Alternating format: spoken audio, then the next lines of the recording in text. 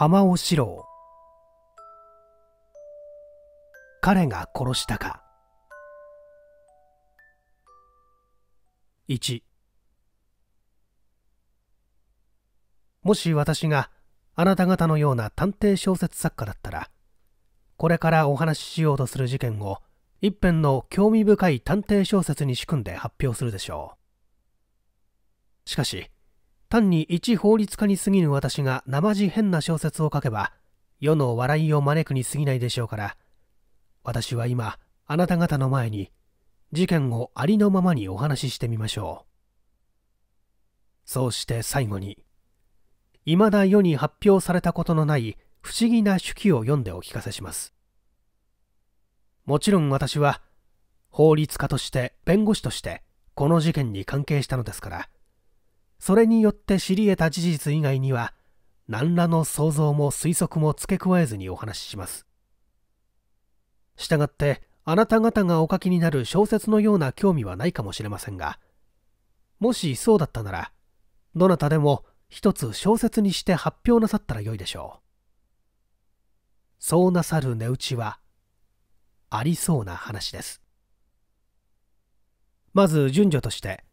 その事件の推移を申し上げましょう。事件というのはこう申せばすぐお分かりのことと思いますが昨年の真夏の夜総州慶長で行われたあの惨劇です。当時都下の諸新聞がこぞって大々的に報道した事件ですから無論皆さんはよくご承知でしょうがもう一度記憶を新たにするためにここで初めからお話ししてみましょう。昨年の8月16日の夜。正確に言うと8月17日の午前1時半ごろ覚えている方があるかもしれませんがあの日は夕方から東京地方は大嵐でした。東京付近で避暑地として賑やかな慶長のある別荘で恐ろしい惨劇が行われました。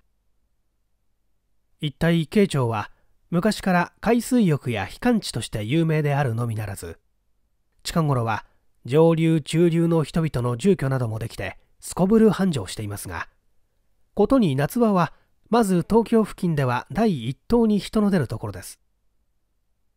その賑やかな土地の一角に突如として行われた惨劇ですから人心に与えた衝撃は非常なものでした。惨劇の行われた家は小田清三という若い実業家の別荘で悲劇の主人公は小田家の若い当主清三当時33年およびその妻美智子当時24年の2人でした。一夜のうちにこの2人の生命がむごたらしく失われてしまったのです一体小田家は先代が貿易商をやって非常な財産を作ったのですが製造は中学時代にその父親を失ってあとは母の手一つで育てられたのでした生来あまり丈夫でないために大学を半途で退学してもっぱら体の静養に努めていましたもちろん大財産の主人ですからなかなか忙しかったに違いありませんがそれも主として母に任せて自分は大抵慶長の別荘の方に住んでいたのです。お坊ちゃん育ちの上に体を大切にして育てられたのでそういう階級特有のわがままなところはありましたが一体に無口な性質なのであまり人と争ったりするようなことはなかったそうです。それからまた非常に親しいという友もなく金持ちながらいわば寂しい生活をしていた人と言っていいでしょう。ことにおととしの末頃から前から悪かった肺の病が激しくなった上神経衰弱にかかったので妻と共に慶長にずっと住まって東京には全く出ずに暮らしていたのです。妻の美智子は数年前に亡くなった有名な川上という大学教授のお嬢さんです。生まれつき聡明な上に非常な美人でした。あなた方の中にはあるいはお会いになった方もあるかもしれませんが噂によると慶長に行ってからは慶長の女王と言われたほどの人だそうです。何と形容したらよろしいでしょうか。法律家の私には言いようがありませんがとにかく非常に美しく。しかもこの頃の流行語を用いればいわゆる性的魅力を十分に持っていた人のようです。すでに女学校在学当時からその美しさは有名なもので一度彼女を見た者は全てが彼女の賛美者となってしまったと言ってよいくらいだそうです。それゆえ彼女の周囲にはその賛美者たる若き男が常に大勢集まっていました。しかも彼女は父を失ってからは一層自由に振る舞っていたのですから彼女をめぐる若き人々ことに男性はただひたすらに増える一方でした。その中にはある若い独身の音楽好きの伯爵がありました。彼女が彼としばしば銀座を歩いているところを人々は見たのです。またある大政治家の息子で文学好きな青年はたびたび彼女と共に劇場に姿を現して多くの人々を羨ましがらせました。かようなありさまですから彼女が将来いかなる人の妻となるかということは一般に非常な問題とされていたのです。美しくて聡明で大学教授の令嬢に生まれ音楽を介し文学を介ししかもかように多くの人々と交際しながら一度として貧困について非難されたことのない彼女ですから伯爵夫人となるか大政治家の嫁になるかはたまた大実業家に見込まれてそのせがれの妻となるかはほとんど彼女の意のままに見えたのでした。ですから今から約3年ほど前に彼女が突然小田製造と結婚した時は多くの人はかなり驚かされました。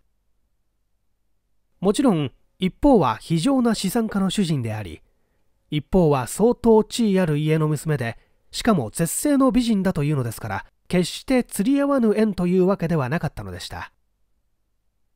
したがって人々が意外に感じたのはその点ではなかったのです。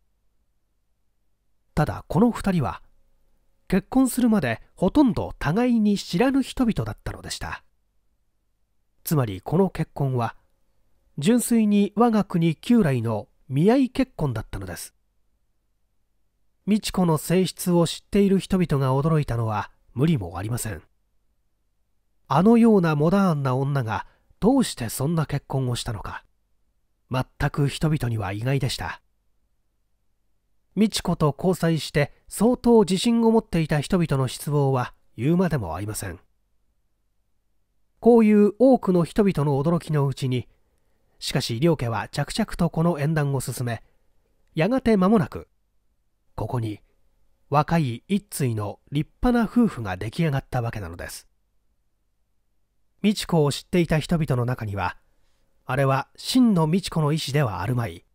案外あるように見えてないのが金だから。あるいは美智子は家の犠牲となって資産家のところへ貸したのだろうというものもありました。これはあながち根拠のない説ではありますまい。ことに聡明な女はかなりそういうことを考えるものですから。2結婚後1年ほどは何の噂も立ちませんでした。そして小田夫妻は極めて平穏に平和に暮らしているように見えました。ただ美智子が相変わらず若い男たちと交際していたことはある人たちの眉を潜めさせていたのです。1年ほど経ちますと製造はひどい六膜炎を患って半年ほど画商するようになりましたがその後はほとんど慶長に退いてそこに召使いを相手の静かな夫婦生活をするようになったのです。ちょうどその頃から妙な噂が立ち始めました。それは美智子がまことに気の毒な暮らしをしているのだという噂です。一言で言えば彼女の夫たる製造は全く美智子を愛してもいなければまた理解してもいない。二言目には病心の人特有の感触を起こして妻を罵り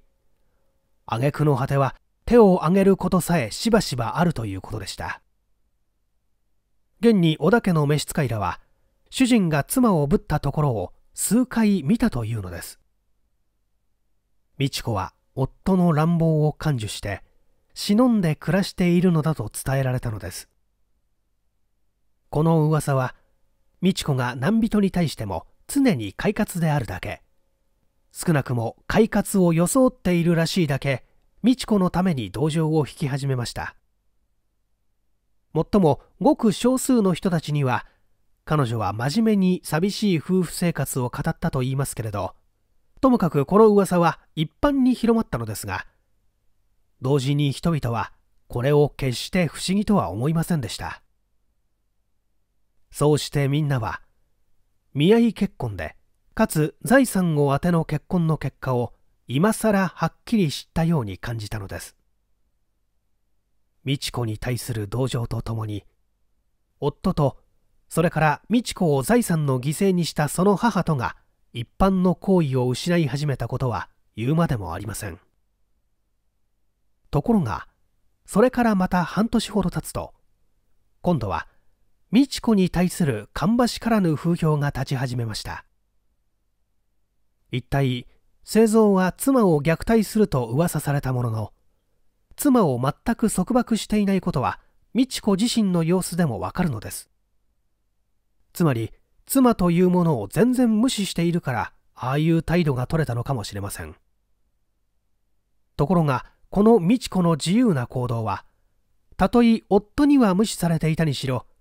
世間にはついに無視してはおられぬくらいのものになってしまったのでした。美智子が家庭を常に冷たい牢獄のように考えておりそれによく耐え忍んできたという事実は一方において十分彼女のため同情を呼んだのでしたが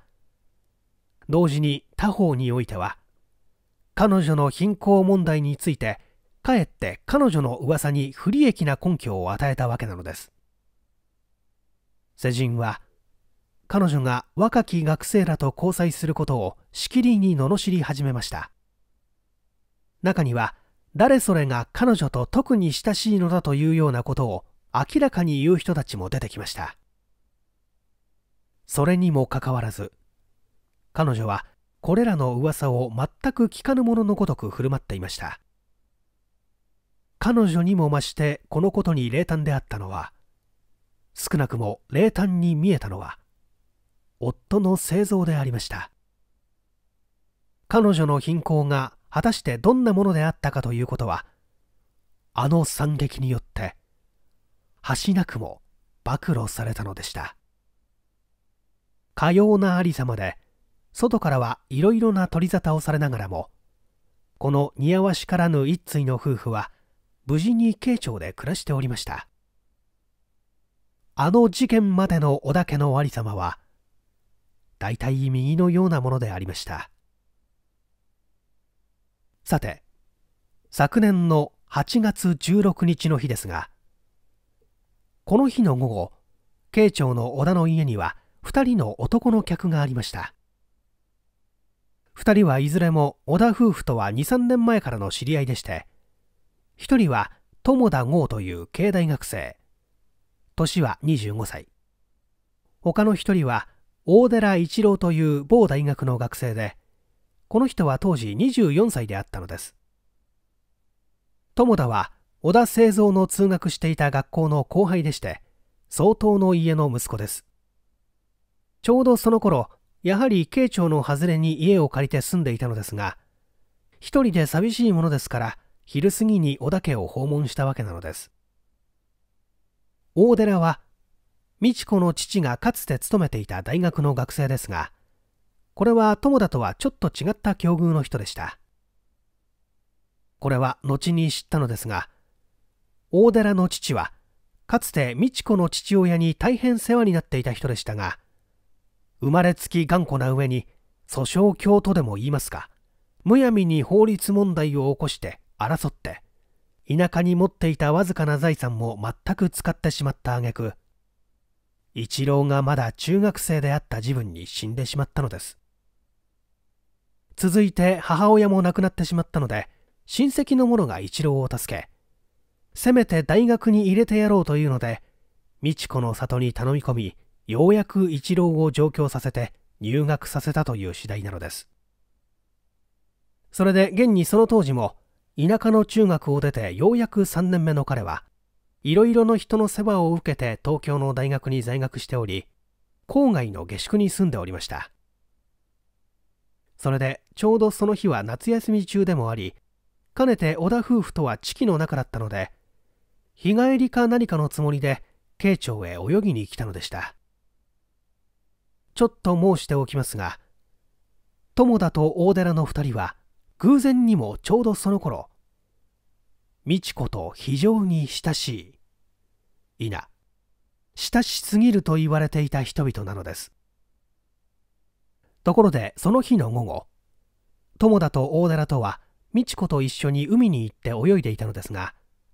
先にも申した通りあの日は夕方から大変な嵐になったのです。夕方空模様が怪しくなってきたので2人は美智子に注意されて急いで水から上がってきたのでした。その日製造は珍しく元気だったそうです。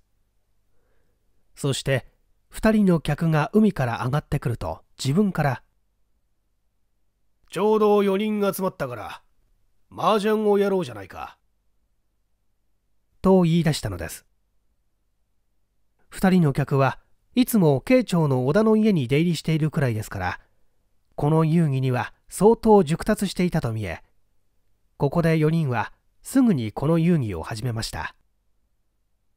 夕食後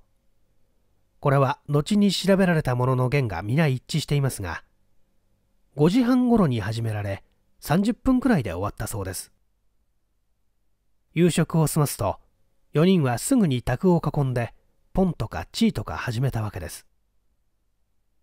その頃は天気は全く悪化して完全な嵐となっていました。私は麻雀のことはよく知りませんがこの遊びは相当うまくても割に時間を要するものだと言われております。この夜は何でも二勝負。パーチョワンとか言うそうですがぶっ続けてやる約束で始めたのだそうです。ところがパーチョワンが済んだ頃は雨も未だ甚だしくなかなかやみそうもない上ちょうど美智子の対象だったので一番負けた製造が珍しく夢中になって悔しがりもう数丁案やろうというのでまたそれを続けたそうですから結局シアルチョアンやり続けたことになるのです。ところで勝負が全く終わった頃は夜も相当更けて12時近くだったそうです。その時は風は止みましたが雨は相変わらず降っていたので主人夫妻は2人の客にしきりと泊まっていくように勧めたのでしたが友田は慶長に家があるのでこれを断って車で帰りました。しかし大寺の方は汽車はもちろんもうないし天気も悪いというわけで小田家に泊めてもらうことになりました。彼らが主人からもう寝るからお前たちも寝てよろしいと言われたのは12時ちょっと過ぎだったそうです。そこで2人の女中お種とおはるという女は待ち構えて自分の部屋に引き取ったのですがその頃は前にも述べた通りただ雨ばかりが激しかったのです。ちょっとここで小田家の家屋の様子をお話ししておきましょう。この家は全部日本式の建築で2階に主人夫婦の寝室と主人の書斎とがありちょうどその下に2つの座敷があります。その書斎の下にあたる部屋はその夜大寺に当てられたところでそれから廊下伝いにちょっと来たところに女中部屋があり台所から外に出るとまた建物がありましてここには二兵という水平上がりのしもべが寝ていたのでした。さて主人の許しがあったので今まで眠い目をこすっていた2人の女中はすぐ部屋に引き取りヤグを出して大抵な奉公人の例に漏れずすぐに健康な眠りに陥りました。しばらくして年上のお種という女中がふと目を覚ましました。自分ではかなり長く寝たつもりでしたし自然に目が覚めた気がしたのでいつもの癖で枕元の主人からあてがわれてあった目覚まし時計を見たのです。すると時間はいまだ1時半頃でした。雨は依然として降り続けています。お種が安心して再び寝ようとした途端不意に人の叫び声のようなものを聞きました。続いて障子の倒れるような音が2階の方から聞こえました。お種は危うく叫び声を出しそうにしながら慌てて余儀をひっかついで床の中に潜り込みしばらく息を殺していたのです。それからちょっと経ってから小アゴは頭を出して様子を聞いていますとまたまた人のうめくような声が聞こえてきました。お種は我慢しきれなくなってそばにいぎたなく寝入っているおはるを叩くようにして起こしました。おはるもその話を聞かされてはただ震えるばかりです。二人はしもべを起こそうと相談しました。ところでしもべを起こすのには前にも申した通り戸を繰り開けて別の棟に行かなければなりません。雨のひどいこの深夜これだけの仕事は二人の女には非常な難事でした。それで二人は廊下伝いに少し行った座敷にいるお客を起こそうじゃないかと相談をしたのです。二人は震えながら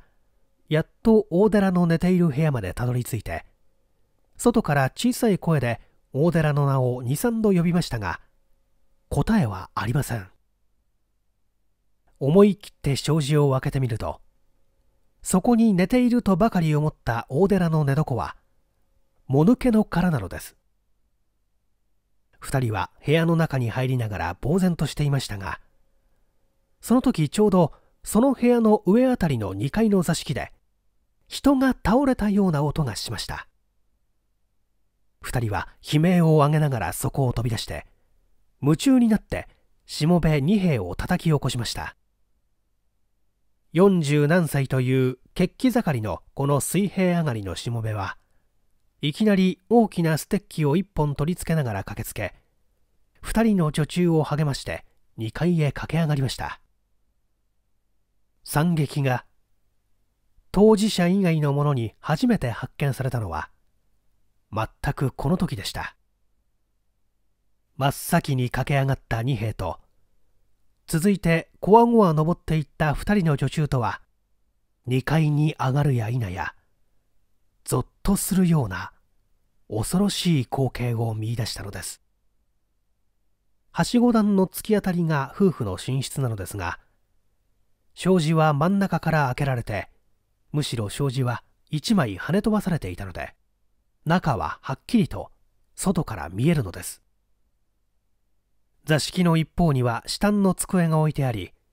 その机の上には電気のスタンドがあって5色くらいの薄暗い明かりが部屋中を浮き出さしていました。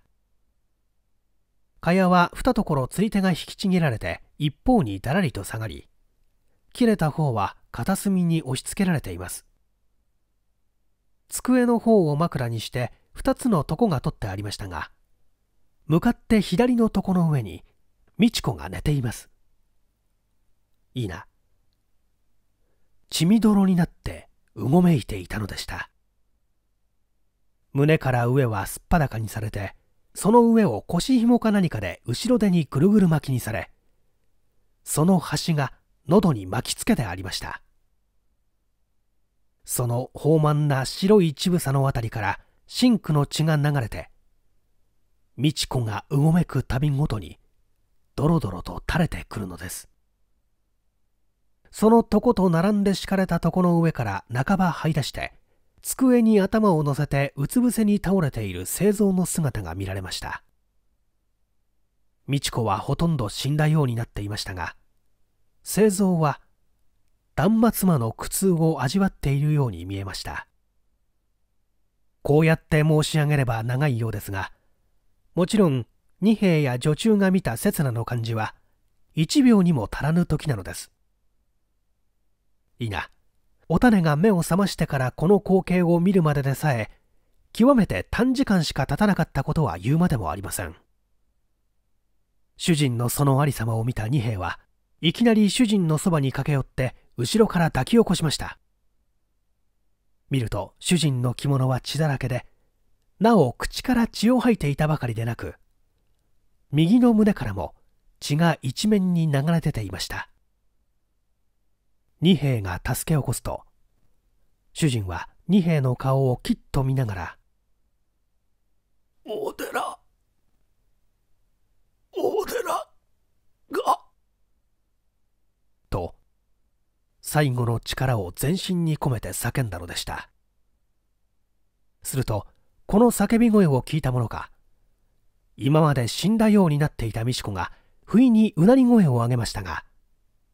続いて一郎と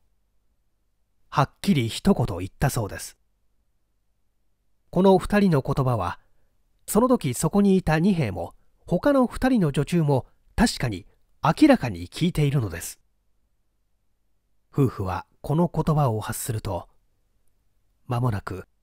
ほとんど同時に息を引き取ったのでした。大寺と言われて二兵は初めて大寺がどこにいるのかということを考えました。彼がはっと思って辺りを見回すとすぐその隣室の書斎の中に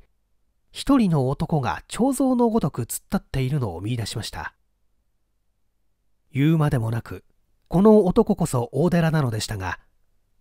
彼は血だらけになった寝巻きを着たままその寝巻きは格闘でもした後らしく着崩れていたそうですが右の手に何か光るものを持って黙ってさながら瞑想にふけっているもののように暗闇の中に立っていました。勇敢な二兵はいきなりステッキを取り上げるや大寺の右手をめがけて叩きつけました。大寺の手から凶器らしきものが落ちると同時に二兵は大寺を組み敷いたのです。大寺はすでに覚悟をしていたものか案外にも全く抵抗することなく二兵のために細帯でたちまちぐるぐる巻きにされてしまいました。二兵は驚いている女中たちに命じて直ちに電話で急を警察に報告させました。かくして直ちに捜査機関は活動を始めたわけなのです。この事件がこれからどう発展したかは当時の新聞がいち早く報じたところで皆さん十分ご承知のことと信じますから詳しくは述べませんが12重要な点だと思われるところを話してみましょう。3これは私が後に知ったのですがこの事件を耳にした検事はすぐに余震判事に強制処分を求め死亡の原因の調査現場の検証及び凶器の押収等は全て余震判事が出動して行ったので今私が述べるところは後にその結果によって知り得た点もありまた当時すでに世情に知られていた点もあるので私が知り得た時の関係については大分順序が異なるのですがそれら法律的な順序には煩わされずに当時のありさまを述べてみましょう。小田製造及び同美智子の死因は無論他殺と認定されました。そして犯罪に供せられた物件は相当に鋭利な刃物であるということも明らかになりました。製造の倒れていた周囲の血は肺からの出血であるということが明瞭になりましたが致命傷は右胸部の思想であります。これは寝巻きの上から突き刺されたものでなおこの他には前額部に打撲傷がありましたがこれは机にでもぶつけたのだろうということに決まりました。すなわち製造の主な傷はたった一箇所であります。美智子は先に述べたように無残極まる死に様をしていたのですが傷は3箇所で左右の胸に各1箇所。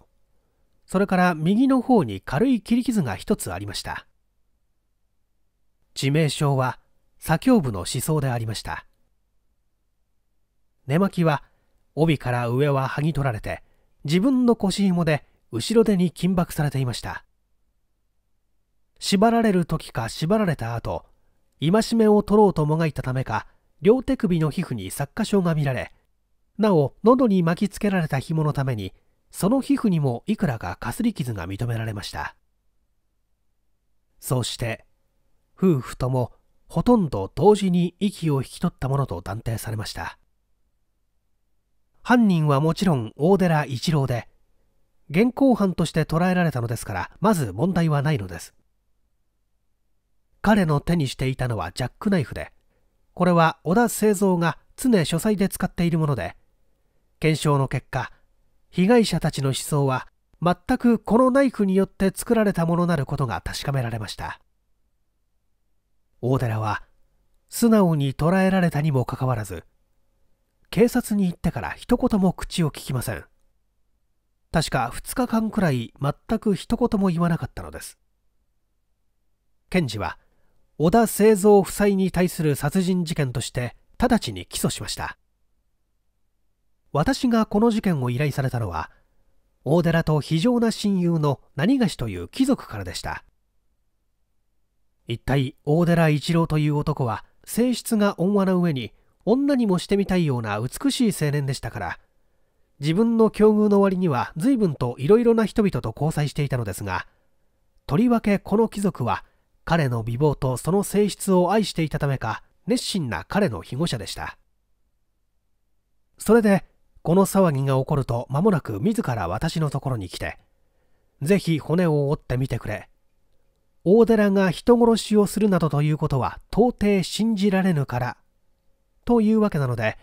私も一応骨を折ってみる気になったのでした。ところが私がこれを引き受けた時には検事はすでに起訴し沈黙を守っていた大寺がすっかり犯罪事実を自白してしまったということが主樹の新聞に大々的に宣伝された後なのです。ここに当時の新聞がありますからその一つを読んでみましょう。慶長実業家小田夫妻殺しついに自白す。原因は地上。上流社会の驚くべき衆生暴露。現行犯として捕らえられながら昨日まで癌として一言も発しなかった慶長実業家小田夫婦殺しの犯人大寺一郎24年はその後係官の厳重な尋問に包みきれず昨夜ついに犯罪事実を自白するに至った。これによって一見虫も殺さぬようなこの美青年が憎むべき殺人鬼なることは明らかになったが同時に彼の自白によって昨今上流社会の家庭がいかに乱行をもって満たされているかということが端なくも暴露するに至ったのである。彼がこの大それた犯罪の動機は全く地上であった。醜き不義の恋であった。若く美しき美智子夫人は実は大寺と1年ほど前から全てを許す仲になっていたのである。大寺が美智子と愛知るに至ったのは最近2年ほどのことであったが妻に全く愛を持たず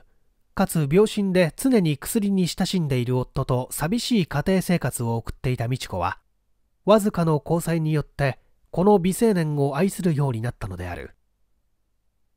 一方大寺の方は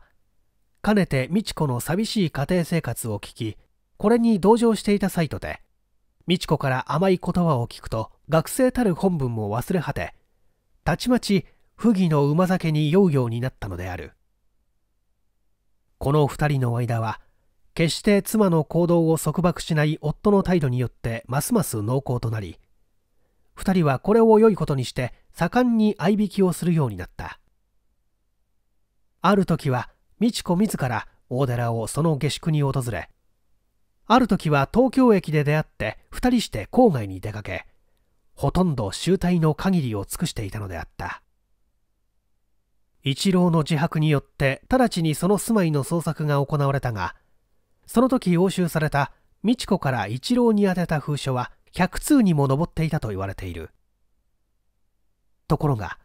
この美智子の心が最近に至って他に移り始めて浮気な美智子はやはり大寺の仲間の友田剛当時慶長に行った学生に恋するようになったのだがこれこそ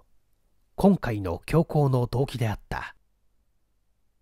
16日の夜美智子は鉄面皮にも2人の愛人を夫の前に並べて麻雀をしていたわけなのである。彼女はいわば麻雀にかこつけて3人の男を翻弄していたのであるが隙を見て友田と2人で合いびきの日の約束を定めているところを橋なくも大寺に聞かれたため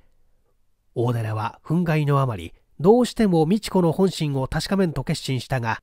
その夜まんじりともせず機会を伺っていたのであった。たまたま夜半に至り美智子が便所に降りてきたのを要して未練がましく不義を続けんことを強要したのであったが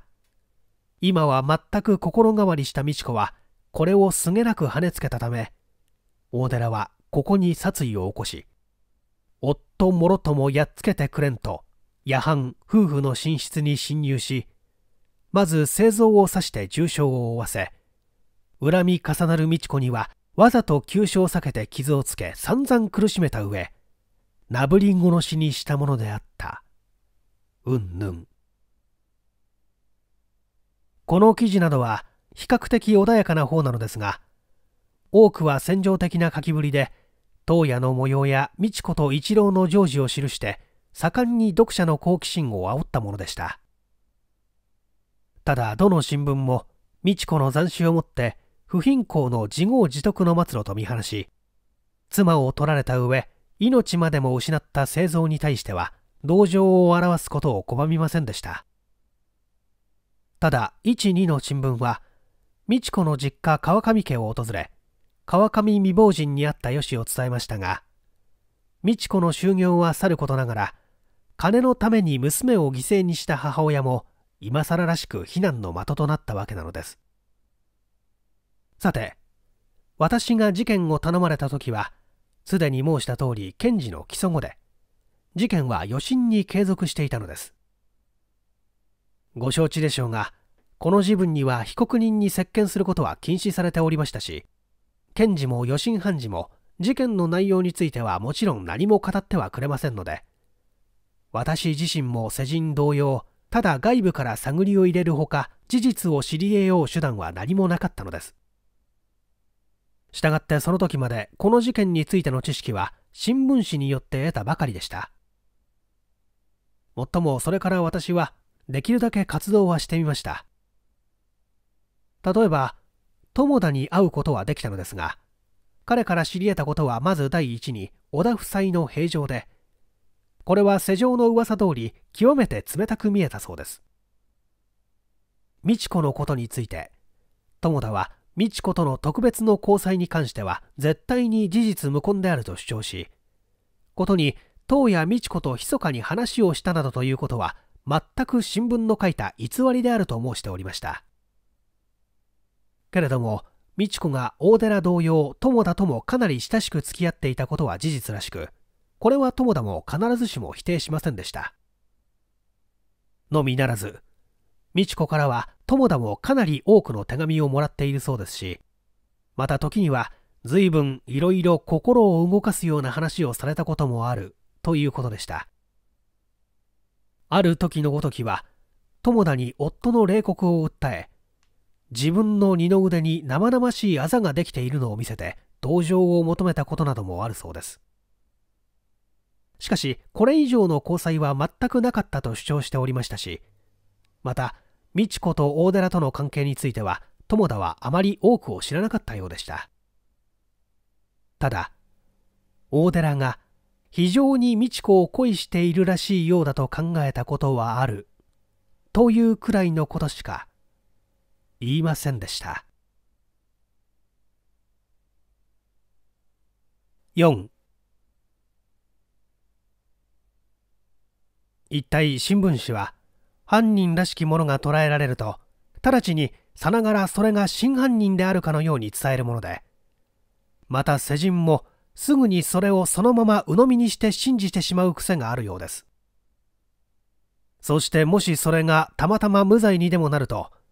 世人はすぐまた官権を攻撃してやれ人権の蹂躙だの拷問をやったろうのと騒ぎたがるものです。しかしこれは大体被疑者をすぐ真犯人と考えるから悪いのです。いな我々から言わせればすでに検事が控訴を提起した後でも被告人であるからといって直ちに犯人だと決して断言すべきではないのです。それはただ検事が真犯人なりと確信したということを表すにとどまっているのでもちろん検事が真犯人なりと断ずる以上相当の根拠はありましょうけれどもしかし公判の確定するまでは決して我々はこれを真犯人なりと断じてはいけないと思うのです。それゆえ、たとえ新聞紙上では真犯人と判決されているものでも、私どもから見ると十分疑わしく、したがって防御しやすい場合が随分あるものです。事件の内容が明らかにされていない以上、未だいかんともわからぬため、私は非常に迷っていたのですが、どうもこの事件においては、大寺以外にちょっと犯人があるようにも考えられませんでした。とうとう事件が後半に移されるまで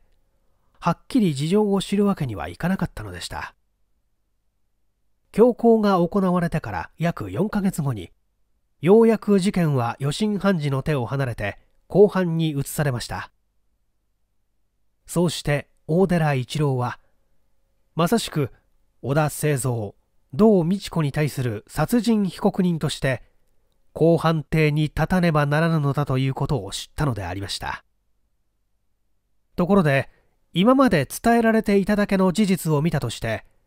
私は虚しく手を引かなければならないでしょうか。大寺の犯罪には少しも疑いはないでしょうか。私はそうは思いませんでした。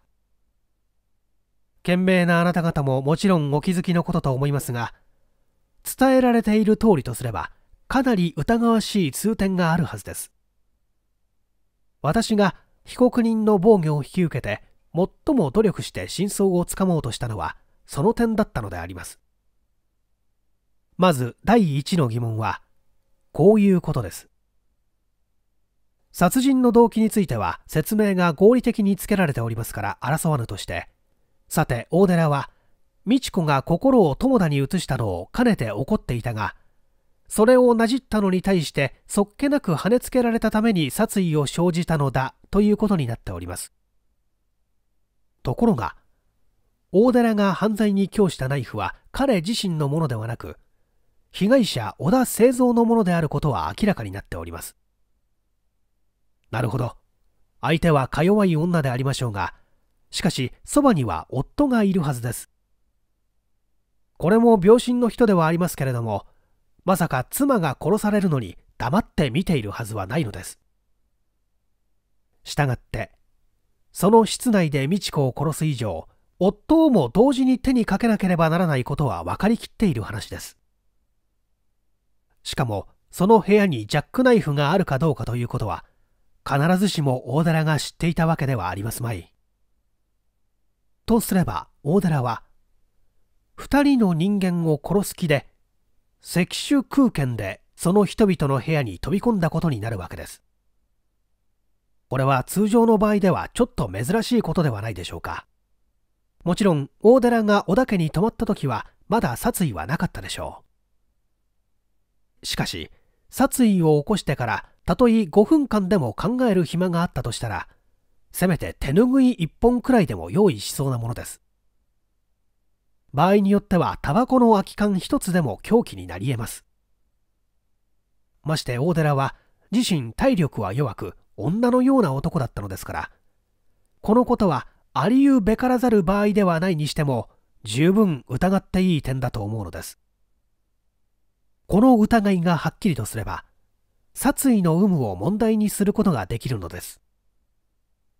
後に至ってあの惨劇を起こしたにしろ何らかの利益は必ず被告人側に来るはずです。第2に現場の模様について考えるべき点があります。これは極めて重大な問題です。一体夫婦2人を殺す場合に夫を先に殺してしまうかまたは縛り上げておいて妻を殺しまたは暴行を加えるということはよく起こる事件です。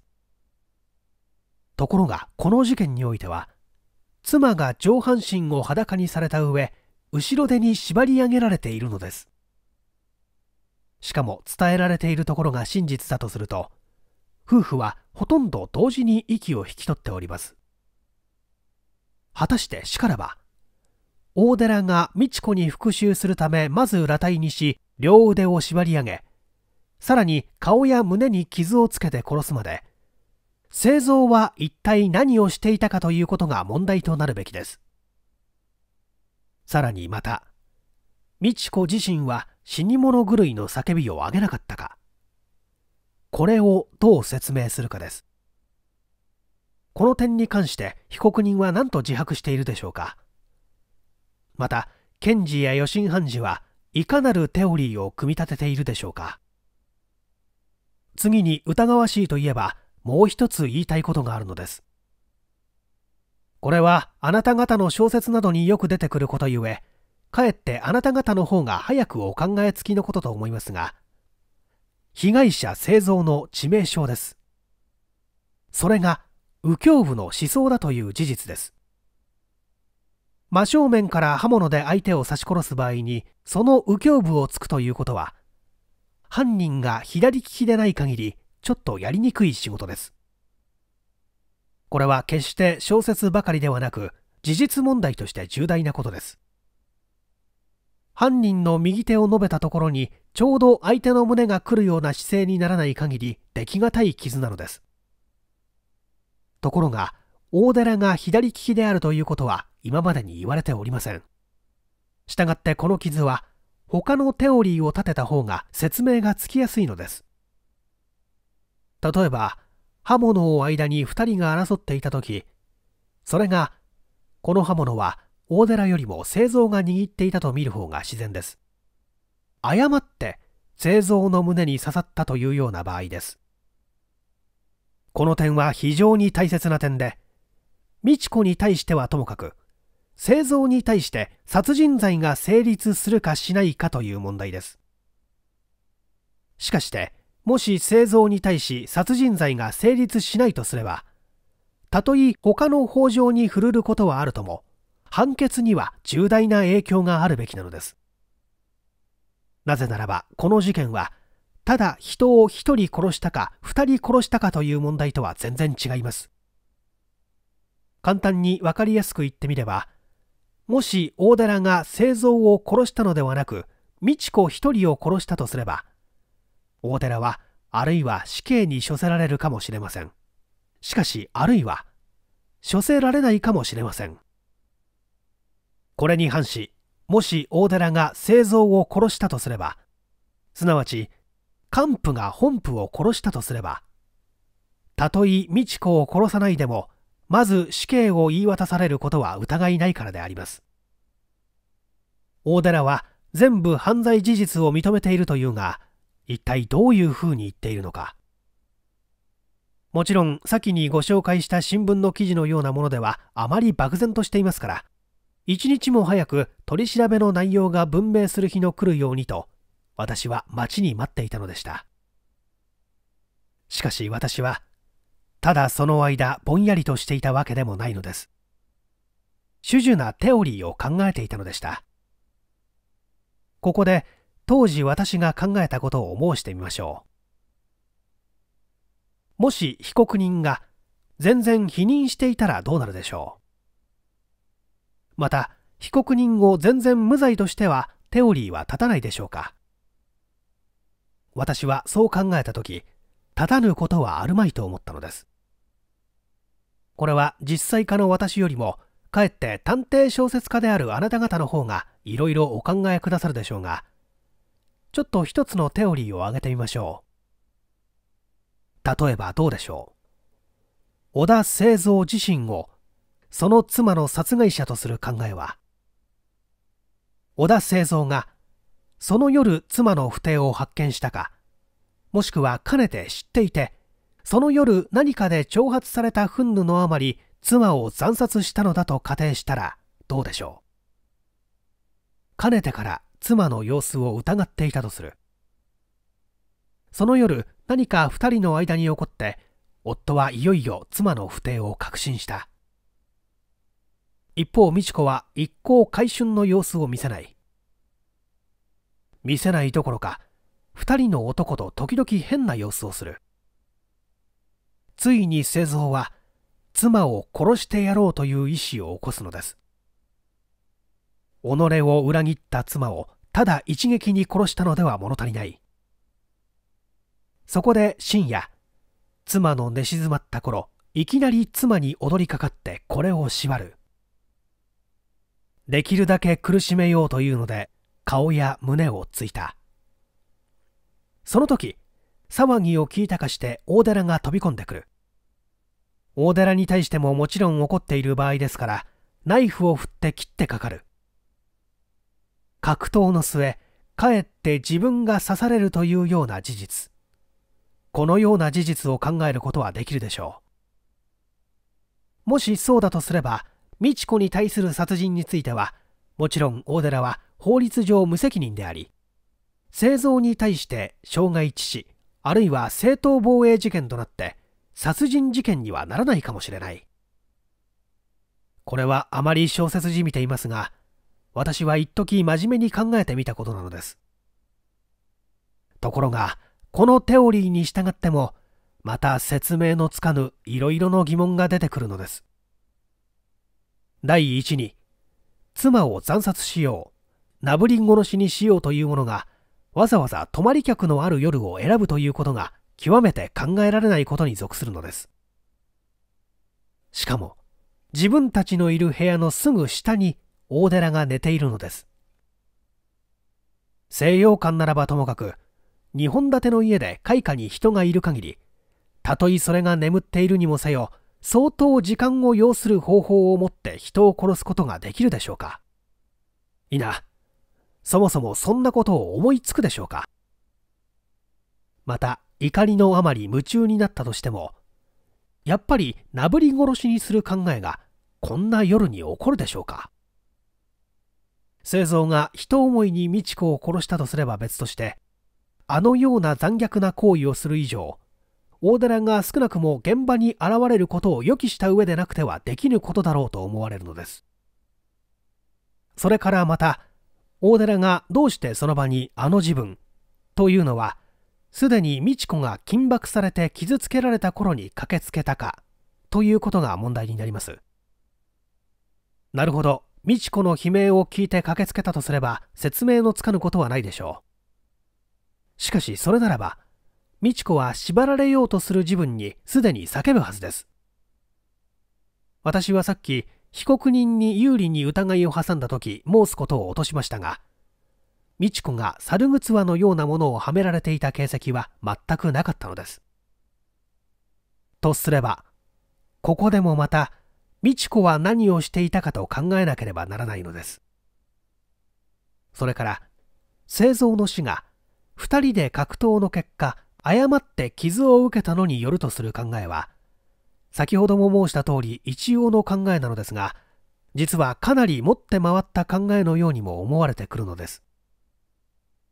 この場合どうも大寺が左利きであったとしなければ具合が悪い。さらに製造が妻を殺してから自殺したとする考え。これもまた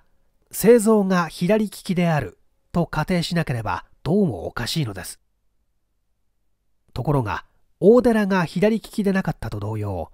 製造も左利きではなかったらしいのです。かような次第で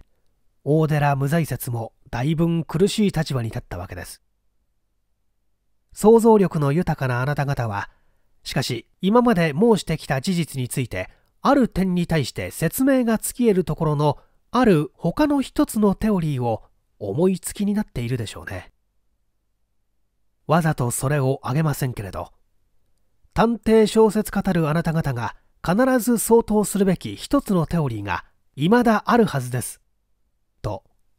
私はあえて思うのであります。しかしそれならばなぜ大寺が犯罪を認めているのでしょう？さらにここに最も望みが少ないのは死者二人の瀕死の刹那の言葉であります。製造も美智子も死の直前に明らかに大寺および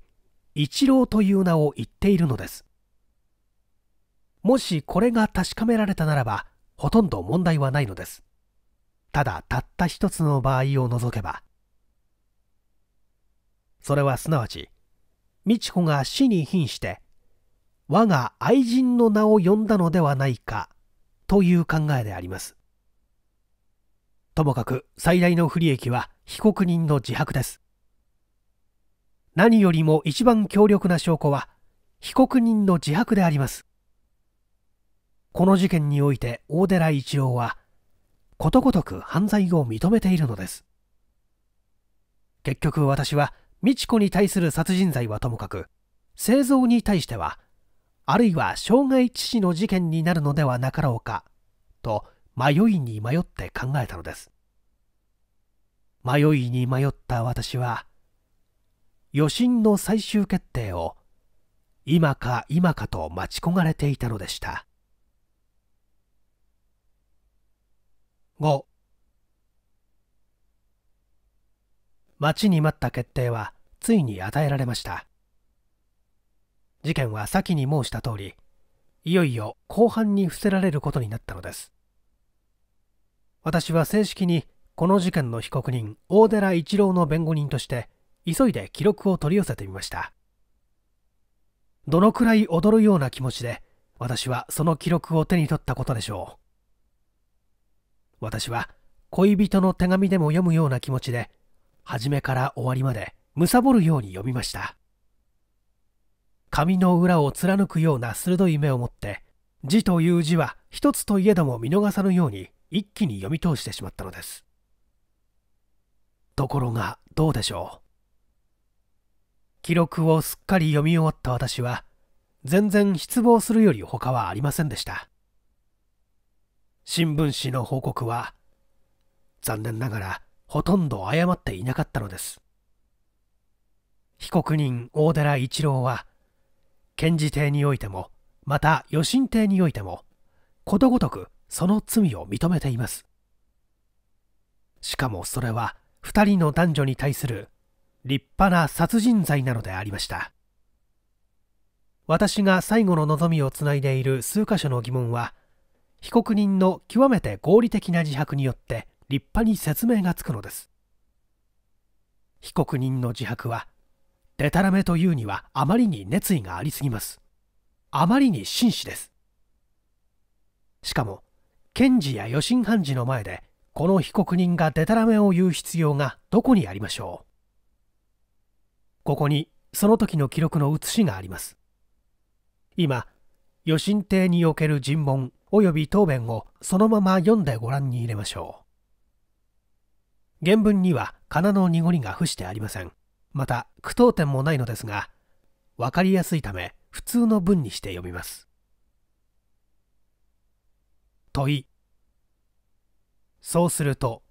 被告が美智子を殺す気になったのは美智子が他の男に心を移すようになったからか。答え。私が美智子を殺す気になったのは今まで私に親切であったのに心変わりしてから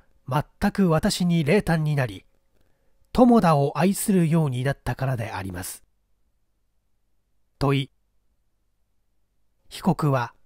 美智子が友田を愛していることを知っていたか。答えその日まで確かな証拠がなかったのであります。その日の夜二人の話で確信するようになりました。問い被告が美智子を殺す気を起こしたのはいつ頃か？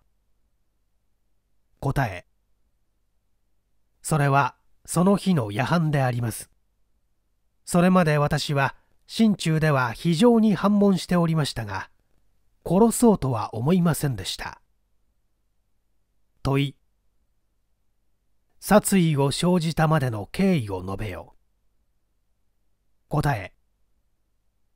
その日麻雀をしている最中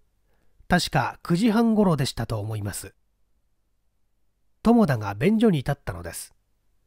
すると美智子が続いて何か台所に用があると見えて部屋を出ました。私はかねてから二人の様子がおかしいと感じておりましたからその時なんとなく気になりましたのでしばらく経ってから私も便所に行ってくるからと申して室外に出ました。そして便所の方に進んで暗い廊下をわざとそっと曲がっていくと角で美智子と友田とが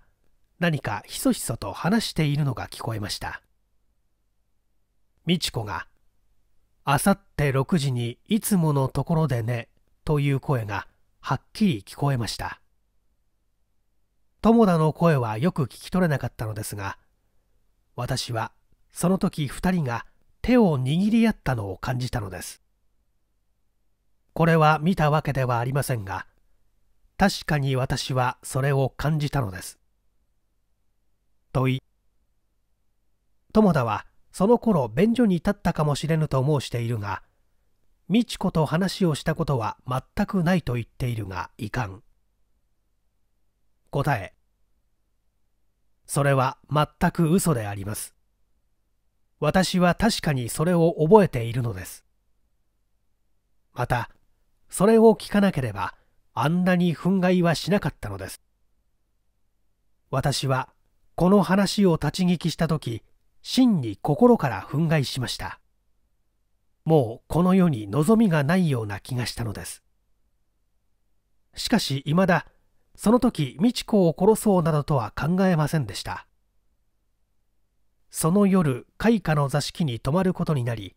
12時過ぎに召集しましたけれども残念で残念で眠れません。それで約1時間くらい床の中に審銀していたのです。するとやがて2階から人が降りてくるようなのでそっと様子をうかがうとそれは美智子でした。彼女がはばかりに入った後私は床の中でいろいろ考えましたがどうしても彼女に会って彼女の心を翻さねばならぬと思いました。それで彼女が便所から出てきたところを廊下に用して話したのです。私はそこでできる限り彼女の心を戻すように申しました。けれども友田に心を移してしまった彼女はもう全く私には戻ってこようとはしませんでした。挙句の果てには「あなたは一体今まで製造に隠れて私と愛し合っていたのではなくって私たちは二人とも貫通者なんでしょうそのあなたが私が今誰をまた愛しようと何も言う権利はないはずだわ。私は夫にはすまないと思うかもしれないけれどあなたから文句を言われるはずはないわ。と言い放ったのです。私はもちろん権利があるとは思いませんけれどもあまり乱暴な言い方なので私も二言三言申しますと一体あなたは本当に私に可愛がられていたと思うの？おバカさんね。私があなたに身を任せたのはからかったからだわ。これ以上ぐずぐず言うなら、私今製造を起こしてきますよ。さあ、話してちょうだい。と言って、私を振り切って2階に上がっていってしまいました。私は仕方なく床に戻ったのですがどう考えてもあまりに無礼な仕打ちではあり私が今更そんなことを言えたわけではないのですが美智子が人妻としてあまりにひどい乱行をしているのを見てもう耐えられぬいっそ美智子を殺して自分も自殺しようと決心したのであります。実際今まで美智子のために生きてきたような私は美智子を失った今生きている甲斐がないと思ったのであります。問い被告は美智子をどこで殺すつもりだったか。答え寝室に行って殺すつもりでした。問い。美智子の部屋には夫が寝ていることを知っていたか。答え。知っておりました。問い。被告は製造が寝ている間に密かに美智子を殺すことができると思ったのか。答え。そうは思いません。美智子を殺せば製造はもちろん目を覚ますに違いないと思いました。問いしからば製造が起きたらどうするつもりだったか。答えはじめは美智子を殺した後製造が起きたら罪をすっかり自白して自殺しようと思っていたのですがしかし製造の態度遺憾によってはこれを殺すつもりでした。問い被告は製造に恨みがあるのか?答え常から私の愛している女を苦しめていたことが実に憎いのですしかし私が一番たまらないのは製造が美智子の夫だということです私には製造が美智子の夫だということだけで製造の存在が呪わしいものだったのです。この気持ちはちょっとお分かりにならないかもしれませんが本当です。問い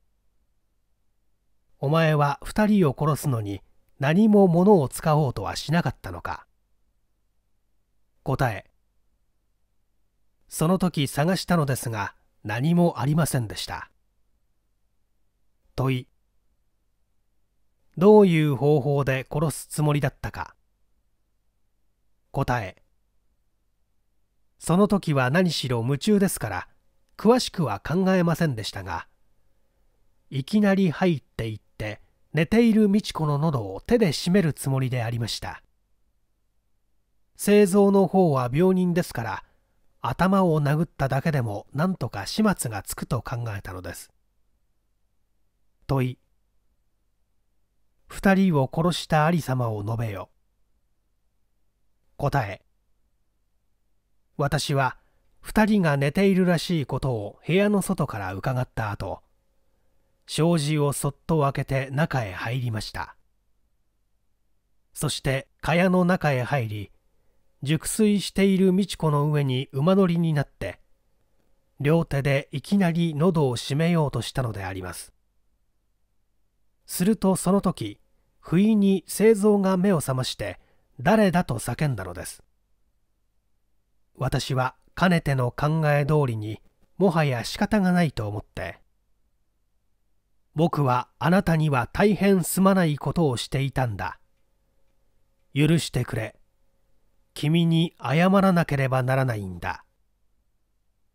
と言いますと製造は床の上に起き上がりながらなんだ。君は大寺君じゃないか。今頃人の寝室に入り込んで何をしようとするんだ。と申しました。私は実はここにいる美智子さんを殺して自分も死ぬ気で来たのだ。君はどう思っているか知らないが実は美智子さんと僕とはずっと前から貫通していたのだ。美智子は君を愛してはいないぞ。君も美智子を愛してはいないではないか。僕こそ本当の美智子の愛人なのだ。所有者なのだ。それを美智子が裏切ったのだ。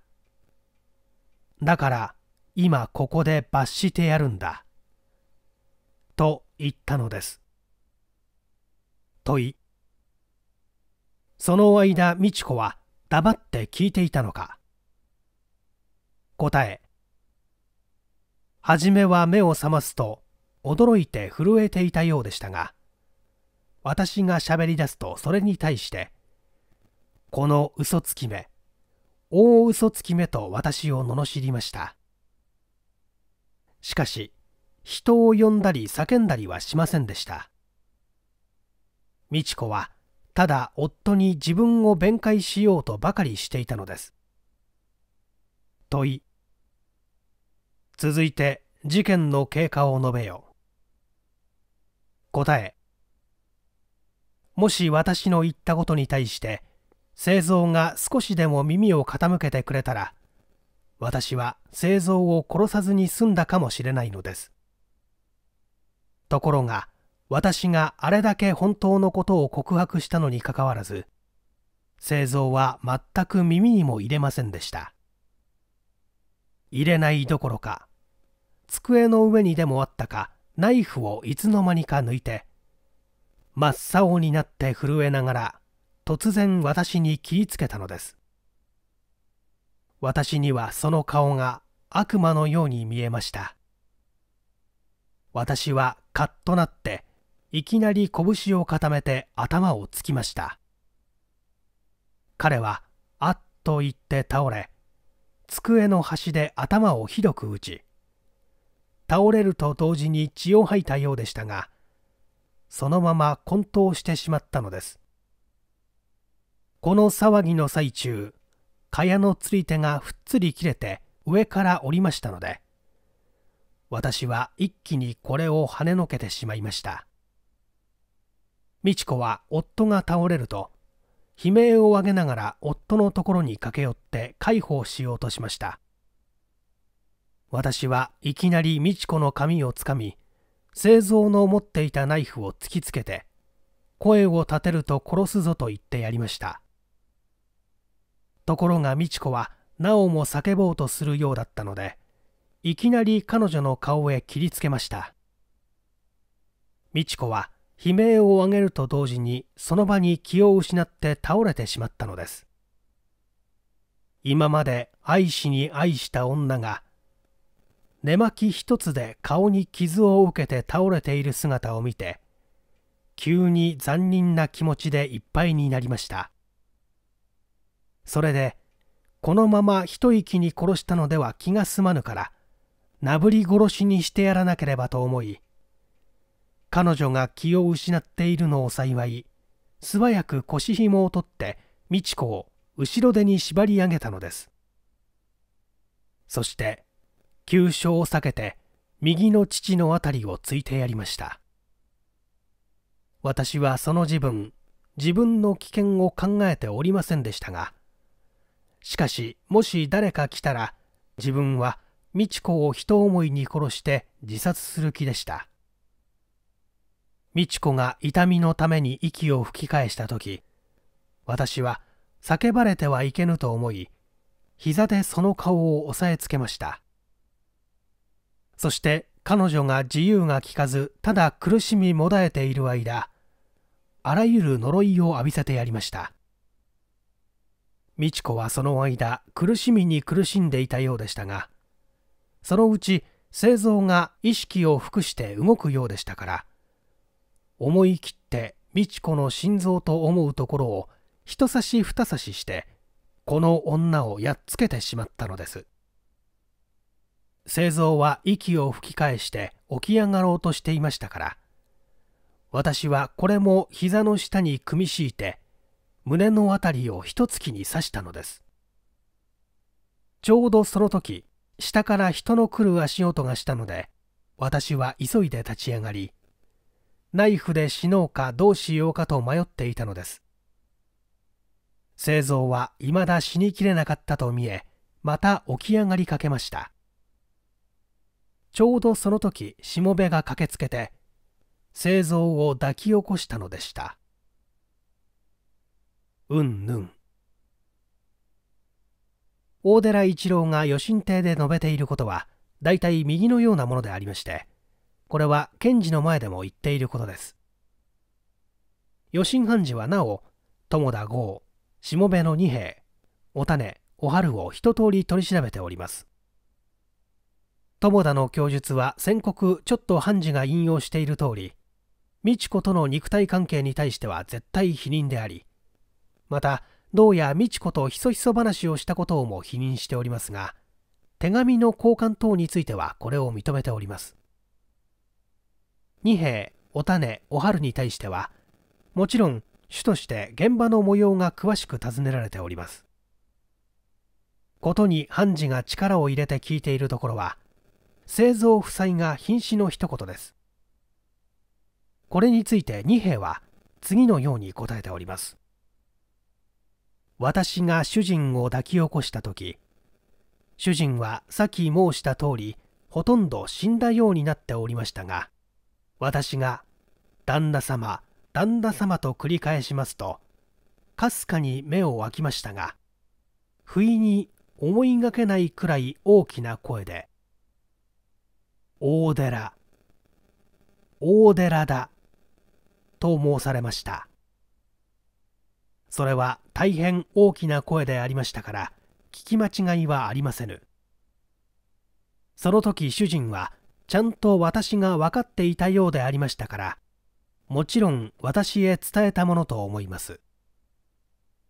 主人の言葉を聞くと今まで死んだようになっていた奥様が何か言いました。それでお種と私が駆けつけますと奥様も目を開いて私を見ながら「一郎」と一言言われました。この声はかすかでしたがはっきり聞き取れました。それで奥様も夢中で言ったようではありませんでした。誰か来てくれた人に言う様子でして決して一郎という名をただ呼んだのではなかったと思います。なおお種も同じように供述をしているのです。さてあなた方もお分かりのようにこれで一通り私の知りたいと思っていたことは遺憾ながら明らかになってしまいました。夫に責任を負わせるというテオリーも全く望みはないのです。これで私の疑問はまず消えてしまったと言っていいのです。さらに悪いことは被告人の自白の裏書きをするように彼の住居からは美智子が彼に宛てた手紙がかなりたくさん発見されたのです。もっともこの手紙には非常に愛情のこもったことは書いていないので美智子と大寺が貫通していたという事実。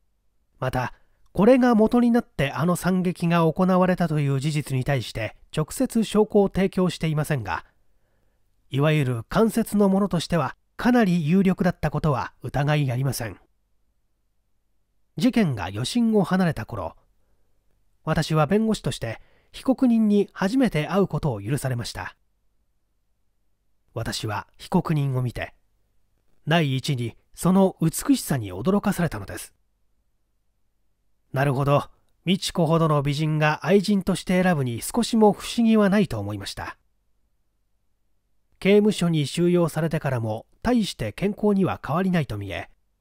元気で青春の美しさが満ち満ちていました。私は一体美しい青年に対しては大抵好意を持つことができる男なのですが今大寺を見て特にその感が深かったのです。私は今までの事実にもかかわらずこの男があの大罪を犯すはずはないと感じました。法律家としては決して顔は当てにならないものだ。いいな。虫も殺さぬような人がかえって大犯罪を行うことがあるとは重々知ってはいながらも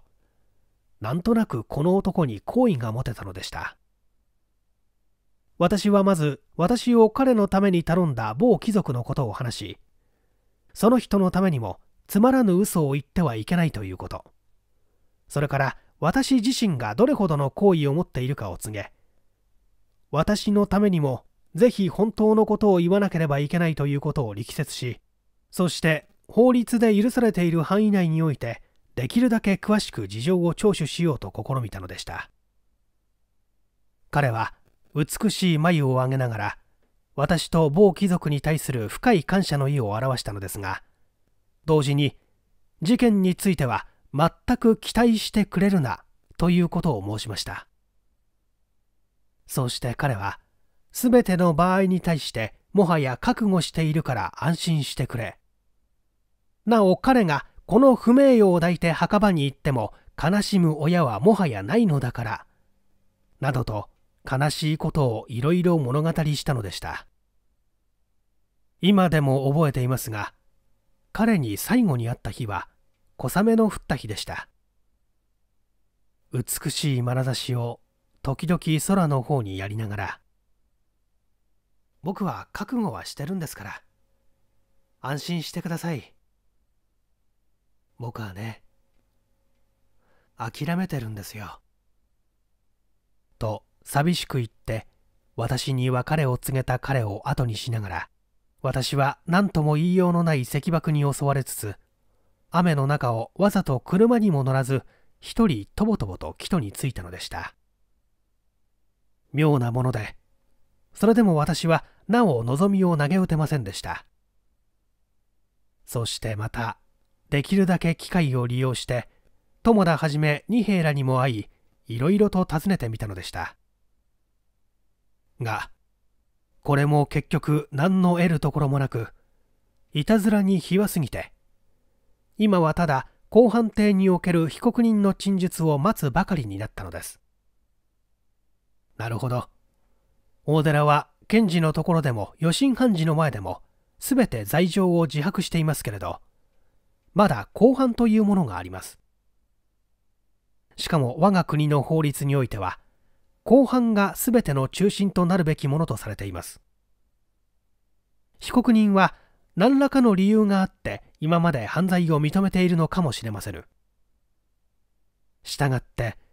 また最後に公判廷において今までの自白を全く翻して全然別の陳述をしないとも限りません。かような例はもちろんこの世にしばしばあることで皆さんもよく聞いておられることでしょう。そこで必要なようですが私は一縷の望みをまたこの後半につないだのでした。弁護人としてのこの苦しい立場は十分皆さんに分かっていただけることと信じます。いよいよ後半は開かれました。この後半の模様についてはこれまた新聞紙がこぞって書き立てたことゆえ皆さん十分ご承知のことと思いますから詳しくはここに述べますまい。私の唯一の望みもあだとなり被告人はまっすぐにここでも犯罪を立派に認めたのです。いいな。それはただ認めたというどころではありませぬ。醜き恋にただれた心を持って。しかも純な青春のあの一本気な気持ちを持って熱と涙の中から彼は美智子との関係を述べ美智子に対する苦しい思いを打ち明け満底の人々をしてその熱情を持って動かしたのです。もちろん多くの人々は眉をしかめたことでしょう。その許すべからざる犯罪とその動機については好意を持つことはできなかったに違いありません。しかし恋する和コードの気持ちを知るある人々はこの哀れな一青年の心情にあるいは多少の同情を与えてくれたかもしれないと私は信じております。彼は愚かにも。しかり愚かにもです。犯罪を単に全部認めたのみならず今なお美智子を恨んでいる旨を述べました。もし美智子が再び生きて帰ってきて同じことを被告人に対して言ったならおそらくは10度でもいな100度でも彼女を惨殺しそうな興奮を漏らしたのです。語を変えて言えば被告人は美智子を殺したことについてはもちろん製造を手にかけたことさえも悔いてはいないように見えたのです。自分が極力防御してやろうと思っていた被告人自身が公判廷で何の遠慮もなくその時の検事の論告の言葉を借れば高顔無知非する者なき態度をもってかような事実を述べ立てたのですから弁護人たる私の立場は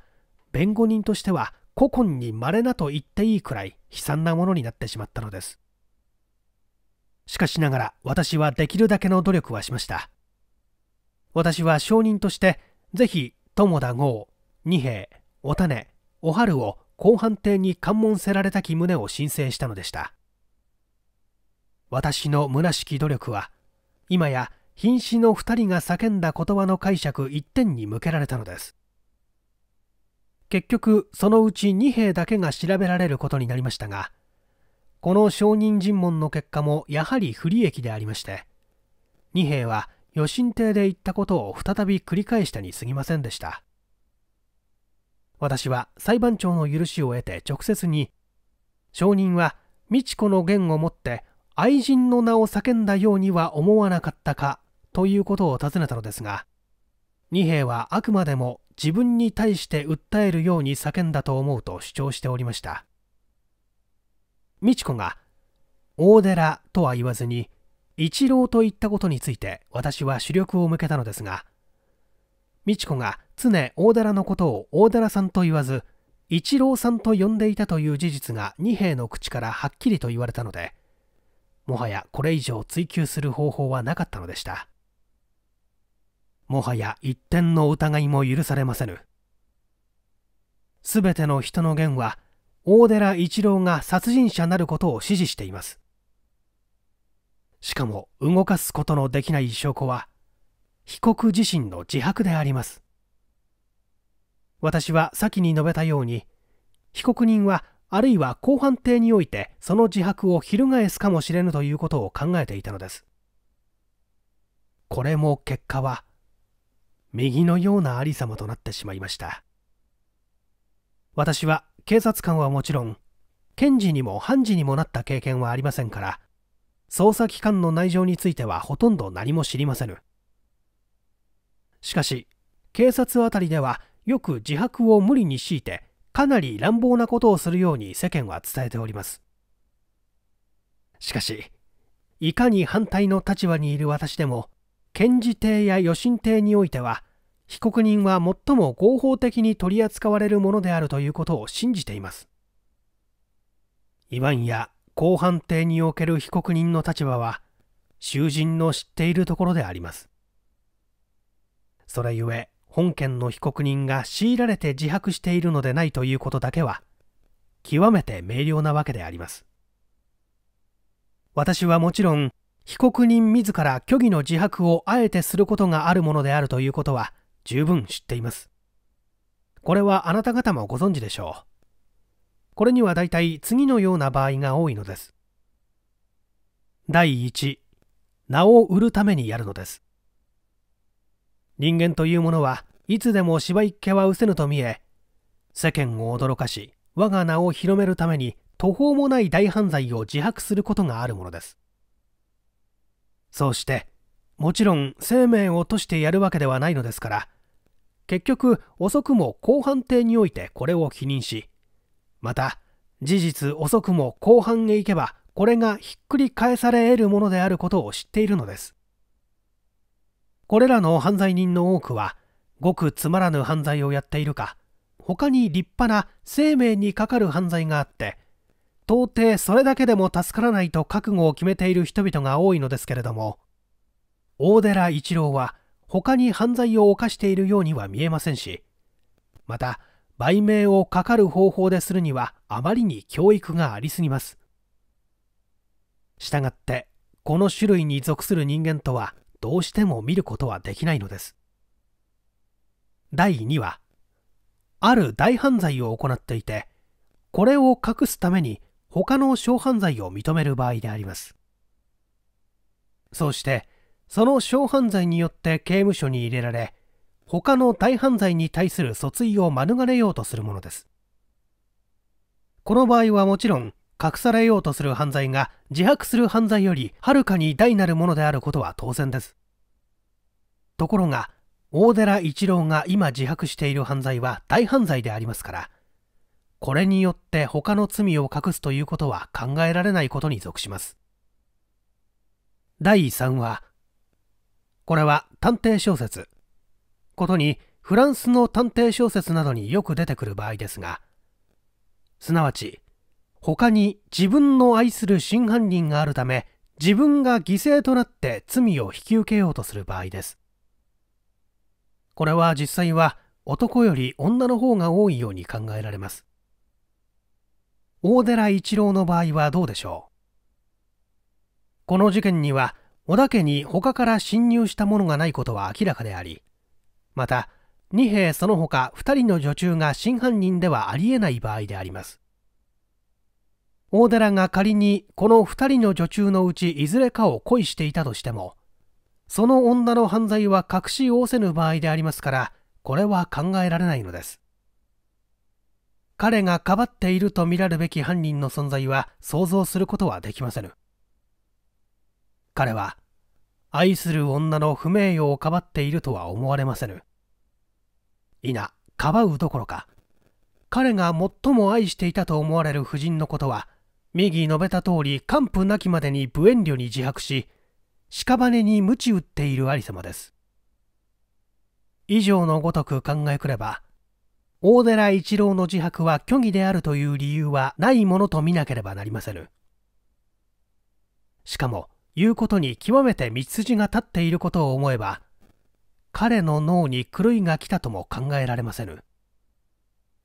この点については裁判所は抜かりなく精神鑑定をしております。さて後半は何らの波乱もなく進行し審理を終わりました。検事は直ちに論告を試みましたがそれはこの場合ほとんど誰もが予期し得るような極めて峻烈なものでありました。検事はまず事実は極めて明瞭なることを述べ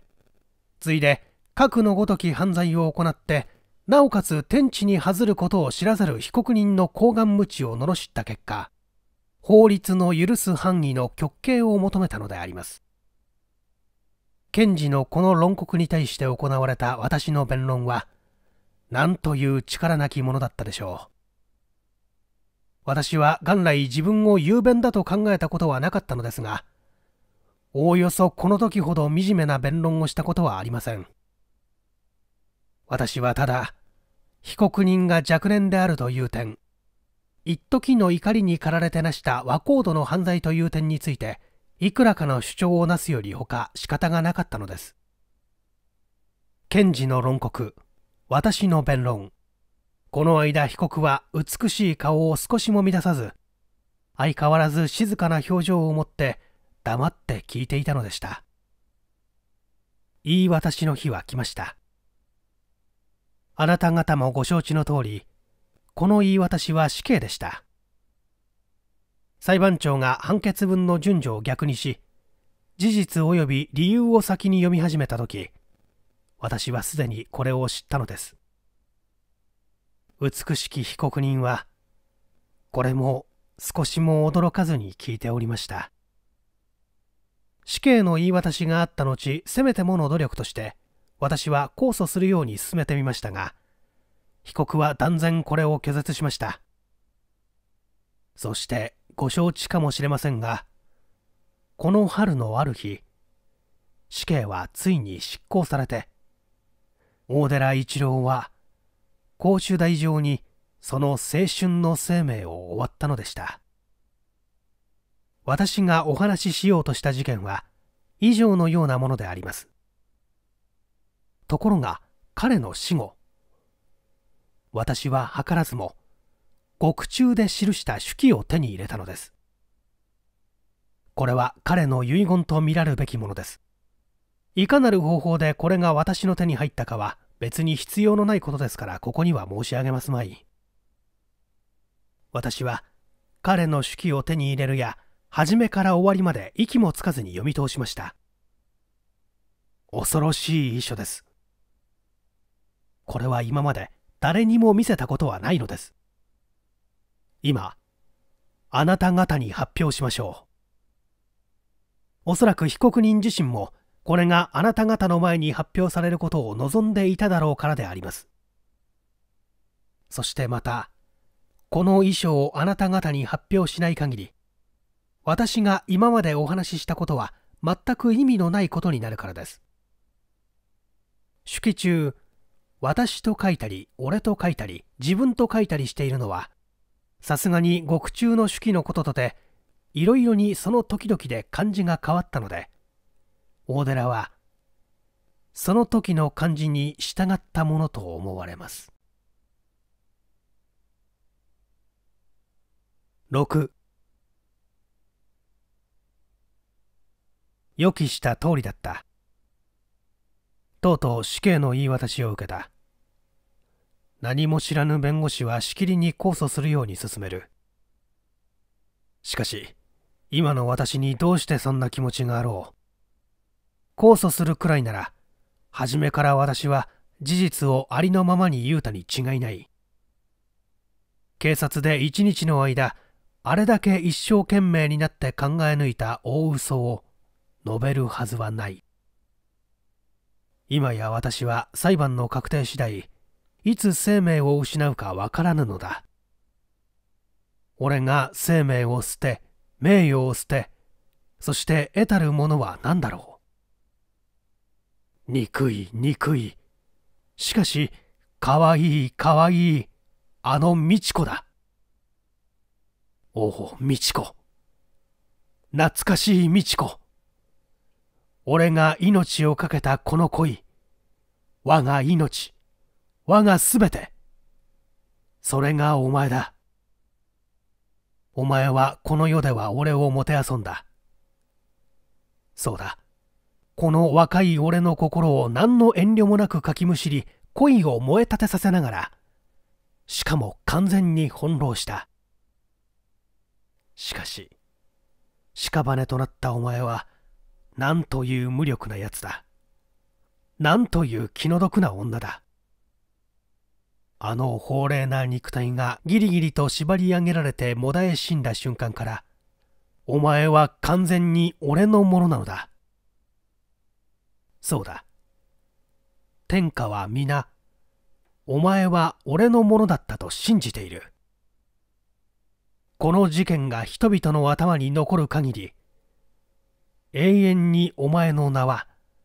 この俺の名と共に歌われるであろう。なるほど、お前の体は夫のそばに眠るかもしれない。けれども、お前は、本当のお前は俺と共にいる。夫に背いて俺のそばにいる。不定の妻、貫通者、こういう永遠の烙印をその額に焼き付けられながら、永久に俺と共に地獄に苦しまねばならない。おお、なんたる喜ばしさであろう。憎いが、しかし可愛いお前をこの地上からなくしてしまった今、俺は何として生きていこう。こうやってただ生きた屍となって何年生きていく甲斐があろう。しかも俺は、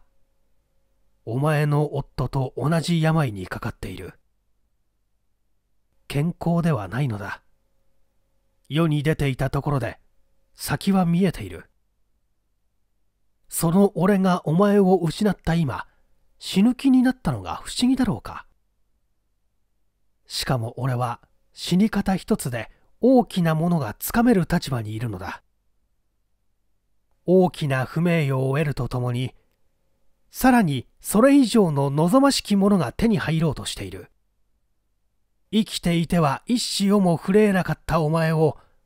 永遠に自分のものにするということだ。そうだ。そうして同時に、死活めらしい顔をしている世の法律家たちに、この中には、俺を何とかして救おうと虚しき努力をしてくれた気の毒なあの弁護士も含まれるのだが、彼らの近所鉄壁と頼む法律というものの無力さを示してやることができる。証拠証拠と二言目には探し回る。それがなければ不正を罰することができない。しかもそれらしきものが見えれば自信を持って何人をも殺すことのできる彼ら。その彼らにこの素晴らしい俺の脚本の仕組みがわかるだろうか。法律家たちよ。今こそ俺は真実を言う。君らは罪なき男に死刑を言い渡した。俺は全く無罪なのだ。なぜ俺が自白したか。一つにはこの世では一死をも触れざりし生命よりも愛する美しき女性を永遠に縁がために。一つには純な俺の心をもてあそんだ憎むべき養父に永遠の楽園の復讐をなさんがために。一つには生きるに飼いなき生命を法律を利用して畳んがために。しかして最後に核のごとくにして君らの自信がどのくらいまで根拠を置かれるべきものであるかを知らしめんがために。俺の父はわずか100円の金が取り返せないで紛死した。彼はある悪党に本当に騙されたのだ。詐欺にかかったのだ。それにもかかわらず法律をよく知っている相手のために負けなければならなかった。悪党から金を取り返さねば奴をぶち込んでやると意気込んで家を出かけた父親はついには帰って相手から武国だと言って訴えられた。父はたまらなかったのだ。100円や1000円は問題ではなかった。父はただお上を信じていたのだ。お上のなさることに間違いはないと信じきっていたのだ。ところがどうだ。彼が神のように信じていたお上は証拠が足りないと言って彼を相手にしなかった。その上結局は不起訴になったものの武国罪の被疑者として厳重に調べられた。法律を頼り切っていた父は当然苦しんだ。彼はこの不名誉には耐えられなかったのだ。日ごとに沈みがちになっていく父の面影をおお今俺は極層にあってもはっきりと思い出すことができる。父はその問題から日ごとに健康が衰えてついに言いた残る妻子に永久に法律を呪えと叫びながらおお俺はその言葉を忘れない。法を呪え。法律の偽善的標語を呪え。俺は法律を呪う。この世に法律が存在する限りその法律を呪う。法律は正義のためにあるという。正しき者の味方なりと嘘吹く。しかしいかに多くの法律が不正のために利用せられたことだろう。しかもいかに有力に横暴に不正はしばしば法律を利用したことだろう。俺に与えられた時間は短い。俺はできるだけ早くこの手記を終わらねばならぬ。急いで事実を書いていこう。俺が初めて美智子に会ったのはちょうど3年ほど前のある秋の日だった。故郷の中学を卒業しようとする頃母もまた世を呪いながら父の後を追ってしまったので叔父の世話で東京に勉強をしに出してもらったのであった。その叔父がちょうど美智子の父にあたる大学教授に世話になったことがある関係から上京してしばらく経ってから美智子の家を訪れたのだった。俺は初めて川上母子に会った時から美智子が好きになった。あの威張り返った母親に比して彼女は何という親しみやすい人だったろう。田舎から出てきて間もない俺を美智子は何と言って家に迎えてくれたことか。もちろん当時美智子は令嬢だったのだ。もし世に1分間の恋というものがあるとすれば俺の場合はそうだろう。俺はたった一目彼女を見た時たった一言彼女と語った瞬間から美智子に見せられてしまったと言っていい。いかにも親しげに語ってくれた彼女にまた会うべく俺は下宿を定めてからもしばしば彼女の家を訪れるようになった。この秋から以来若き田舎での青年は全く彼女のために生きていたようなものである。彼女と交際をするにつれて私は彼女を取り巻く多くの人々のいることを見出した。私と同じ学校の学生の中にもかなり彼女の顔を見に来る奴らがあった。これらの大勢の男の中にあって美智子は少しも困惑の様子はなくみんなに対していかにも巧みな交際ぶりを発揮していた。それゆえ彼女が誰に最大の好意を持っているかということは全くわからなかった。愚かな俺は彼女の母の信用を多分に持っていたので美智子からも相当好意を持たれていると信じていたのである。美智子は決してしかし真面目な話をしなかった。おそらくこれは誰に対してでもそうであったろうが音楽の話文学の話芝居の話などをみんなとするほかはブリッジを仕込み麻雀を我々に教えては楽しんでいるように見えた。その間俺は密かに恋をしていたのだ。俺は若かった。いや、今でも俺はまだ若い。しかし、俺が美智子を知った頃は、なお若かったのだ。幼かったと言ってもいい。その俺が、和コードの純な気分で彼女を生命にかけて恋していたとて、何の不思議があろう。しかも考えれば、俺をこれほどまで夢中にさせたについては美智子の態度に十分責任があったと言える。しかし俺は自白する。俺は多くの男の中から選ばれて彼女の夫となろうという自信はなかった。けれども恋する者の常として非常に謙遜である心と一方万一を望む心とが必ずいつも胸の中にあった。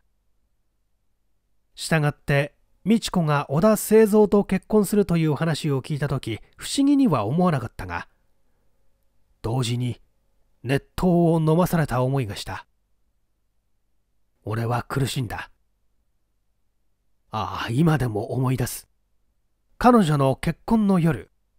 俺はその披露の席に招かれていたのだがどうして花嫁姿の彼女を制止する気になれよう。俺はこの体一つ置きどころがなく広い東京の街をただ当てどもなくひたすらに歩き回り飲み回った。そしてついに浅草のある裏町の汚い家に酔い倒れてしまったまま考えても恐ろしい浅ましい一夜を明かしたのだった。織田夫人となった美智子はしかし相変わらず俺と会った。俺は初め断然彼女に会うまいと思ったのだが彼女からわざわざ手紙をよこされるともはやその決意も鈍って夢の中にいる人のごとくに彼女と会ってはただ苦しい。しかしながら喜ばしい時を過ごしていたのだ。美智子が俺に対して明らかに好意を示し始めたのは彼女が結婚してからである。彼女からは盛んに手紙が来た。もちろん手紙には愛情に渡ったことはあまり書いていなかったけれど敏感な恋する和コードにとってはある種の普通の手紙の方は生地な愛の文句で綴られた文よりもはるかに力強きある印象を与えるものである。美智子はことにこの種の手紙の書き方がうまかった。愚かな俺は寝る時もそばを離さずにそれらの手紙を愛撫した。彼女は特に PS の書き方が極めてうまく、わずか2、3行の PS の中に千番言の思いを巧みに託した。それゆえ俺はしまいには本文よりも真っ先に追伸を読むことにしたくらいである一昨年の末頃から彼女は慶長から出てくるごとに必ず俺のところを訪れて誘い出しては二人で銀座あたりを歩いたしかも途上を決してはっきりと触れた話はしない。俺は俺で人妻に恋しているという気持ちを和コード特有のセンティメンタリズムで抱いていたので沈黙をもって心を通じさせようとした。今から思えばキザの極みだが俺は当時ベルテルの悲しみをレクラム版で求めてこれを常に懐中して習いたてのドイツ語だから読めるはずはないのに時々開いてはため息をついていたものである。おお当時のベルテルは今やロッテを呪わずにはいられないのだ。ある夕東京のある町を歩きながら美智子夫人は俺にこう言ったことがある。私一郎さんのような人本当に好きよ。本当に好きよ。あなたのような方の奥さんになる方どんなに幸福でしょう？ああ遅い。なぜ早くそう言ってくれなかったんだ？俺は愚かにもしかり千万遍も愚かにもこの言葉をこういうふうに返しこういうように心の中で叫んだものである。しかし若い青年の心にこの不用意なもしくは極めて巧みに巧まれたこの言葉がこう響くのがどうしておかしかろう？ある時はまたこういうこともあった。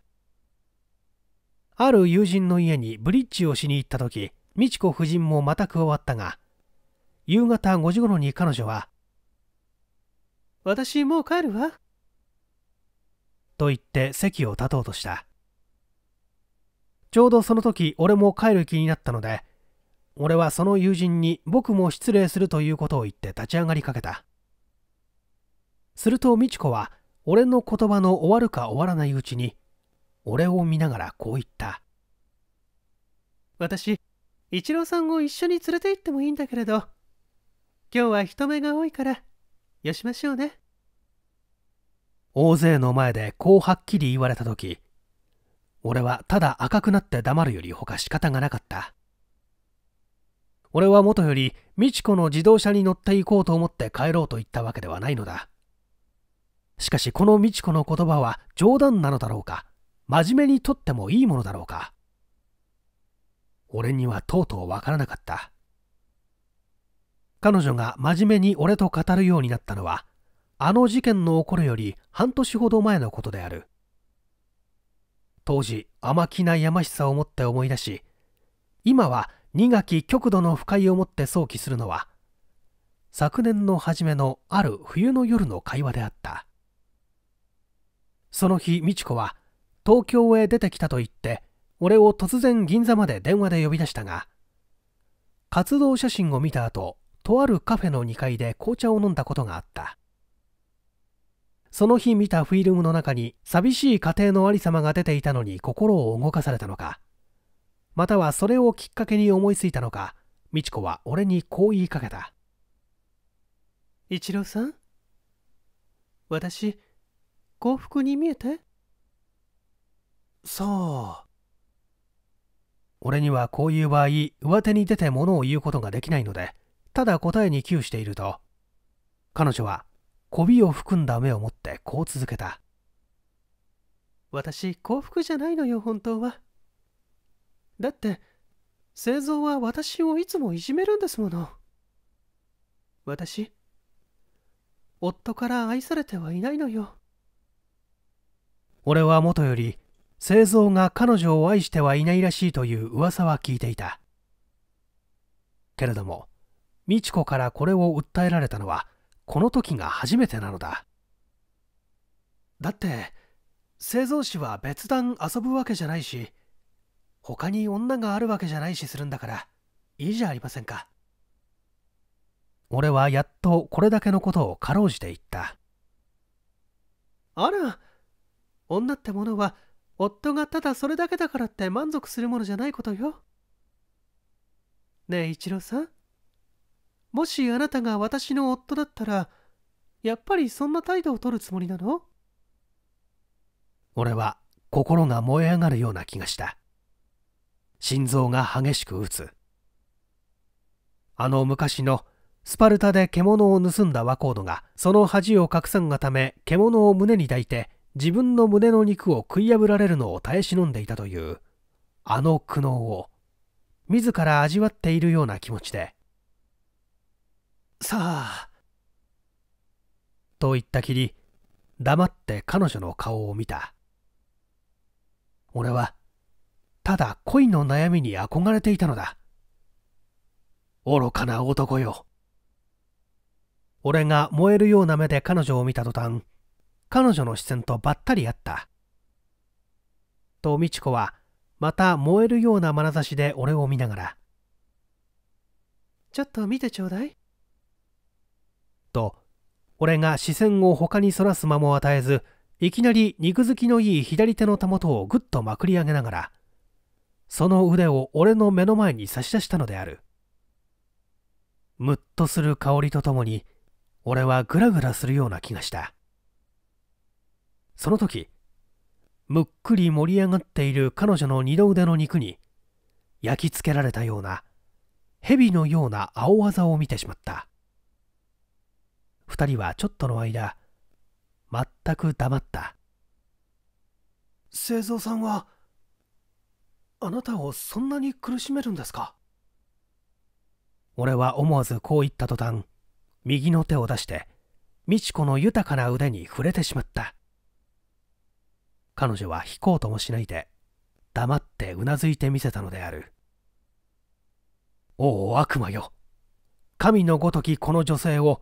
汝は何が故に核も虐待するのか。汝はこの女性の夫たる。いいな。いいな。しもべにすらなる資格はないのだ。俺は製造の存在を呪った。彼を罵った。彼女の結婚を呪った。さすがにそれとは言わなかったけれども俺は興奮したあまりかなり遠慮なく製造のことを言ってのけたのだった。彼女はただ黙ってうなずいていたが終わりに「だけどこんなことをあなたっきりに言うんだから黙っててね」と一言言ったきりである。美智子よ。汝こそ呪わるべきかな。俺は汝がこんな技巧をいろいろな男に示していたかと思えば全身の血が逆流するような気がする。俺はその時から悪魔に虐げられている彼女のために立とうと決心した。どんなことがあっても彼女のために戦ってやろうと思った。俺は全く彼女の奴隷であった。おお愚かな俺は。生存が美智子に対して自由な行動を取らしているのは決して本心から喜んでいるわけではないのだ。美智子が俺などと交際することのためにも製造は美智子をかなり苦しめることがあったそうだ。そうとすれば製造にだって嫉妬心はあるのだ。ただ彼の冷たい自尊心のためにはっきりと美智子には言わないのだ。こう分かった以上俺も美智子と同じ行動を取ろうとした。わざわざ製造が不愉快になるような話を彼の前でした。わざわざ製造を不愉快にして愉快がった。かのごとくにして昨年の春から俺ははっきりと製造に不愉快な様子を見せられつつ彼としばしば会ったのであった。8月の16日。あの呪わしい日。あの日にもこの様子は十分見えたのである。友だという男に対して美智子がどういう態度をとっていたかということを俺はよくは知らない。しかし製造が俺よりも友田により多くの親しさを見せていたことから思えば彼は俺ほど美智子に近づいていなかったのではなかろうか。しかし製造のような男は態度はかえって反対を表すことが多いのだから何とも言えないけれど。あの日俺は招かれたわけではなかったがちょうど暇だったので遊びに行ったのだった。偶然友田が気合わせたので夕方麻雀が始まったのである。俺はこの遊戯の間にも常に恋人に対しているという喜びと人妻と恋し合っていながらしかも互いにいかんともすることができずわずかに遊戯を共にして楽しむというひどく感傷的な感激に浸り続けていた。嵐になったので俺はどうせ帰れないつもりだったから全然他に気を散らさずに麻雀にふけり恋の喜びと悲痛とを味わうことができた。パーチョ湾に入っても勝負は一向荒れなかった。そのシーフォンの時である。大きな手が美智子にできたのは。いな。できたというより出来上がらせてしまったのだ。その時はシーフォンで製造が親であった。俺は製造の上にいてちょうど美智子のトイメンになっていたのである。ところがめくりが4回くらい回ってしまうと美智子はスーワンウーワンを切ってきた。続いて E ピン3ピンと切って次にメンフォンを1枚切ったのである。この時ファンパイは早く方々から出ているのだし美智子は総隠しの手でもあるがソーズを一個も捨てていないのだから。美智子がソーズのチンイーソーを企てていることは誰の目にも明らかなのである。しかも他の3人はまだなかなかテンパイしない。ことに製造はこの有様を見て親のことだからしきりに苛立って上がりを急いでいるらしいのだがこれもまだ容易にテンパイした様子はなくおまけに彼は美智子の髪にいるのでソーズを握って離さぬからなお上がりが難しくなっている。そのうち美智子の妻の番となった。彼女は14枚のパイを全部立てたまま並べていたがしばらく考えていた結果いきなりチーソーを1枚捨ててきた。余ったな。製造は半ば本当に恐れたようで半ばは他の2人に注意するような様子でつぶやいた。友田を経て俺の番になった。効か不幸か求めがたいペン三蔵をつかんできたので今や孤立せるパーソーを1個捨てればいい数チーピンの絶好のピンフのテンパイである。通常の場合でもチーソーを捨ててテンパイしたらしい際パーソーを打つことは危険である。イワンやチーイーソーでしかも面前の手と来ているから一般の上がりの原則は容易に適用できる。今俺が握っているパーソーは絶対危険杯と見なければならない。しかし相手は愛する美智子である。親は憎むべき製造である。しかも自分は3つの機会ある天杯なのだ。よしやってみろと思いながらいきなりパーソーを打ったところ果たして美智子をチンギーソーで上がらせてしまった。この時の製造の不愉快な顔は忘れられない。これで美智子が絶対の勝ちとなったが、全く不愉快になった製造はやめようとはせぬ。それでとうとう、続いて数兆案やることになったのだった。ところが、この周りのファイナルで、またまた製造を極度に不快ならしめることが持ち上がった。それはペイフォンの一番姉妹で、この時も製造が親。俺はやはり彼の神で、俺のトイメンが今度は友田であった。それまで手がつかなかった俺は、がぜ幸運に見舞われたか、与えられた範囲を見ると実にいい手がついている。その中2回ほど回ると、製造が俺のレンフォンのペイを打った。俺はこれをポンし、続けて友田から出たハツをポンし、ついでまた友田が打った9腕をポンした。したがってこの場合、八百中杯の全部とマンズの全部がパオパイとなったわけである。この時俺の手は数腕チーワンの両面の町であったが、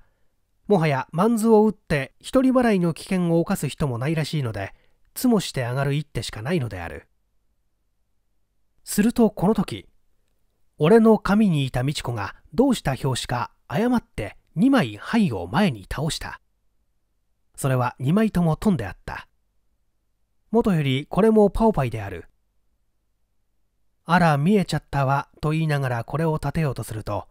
製造が「おおそこにあるか。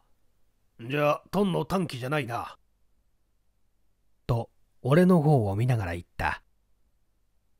そして自分も一個のトンを手に出してみせた。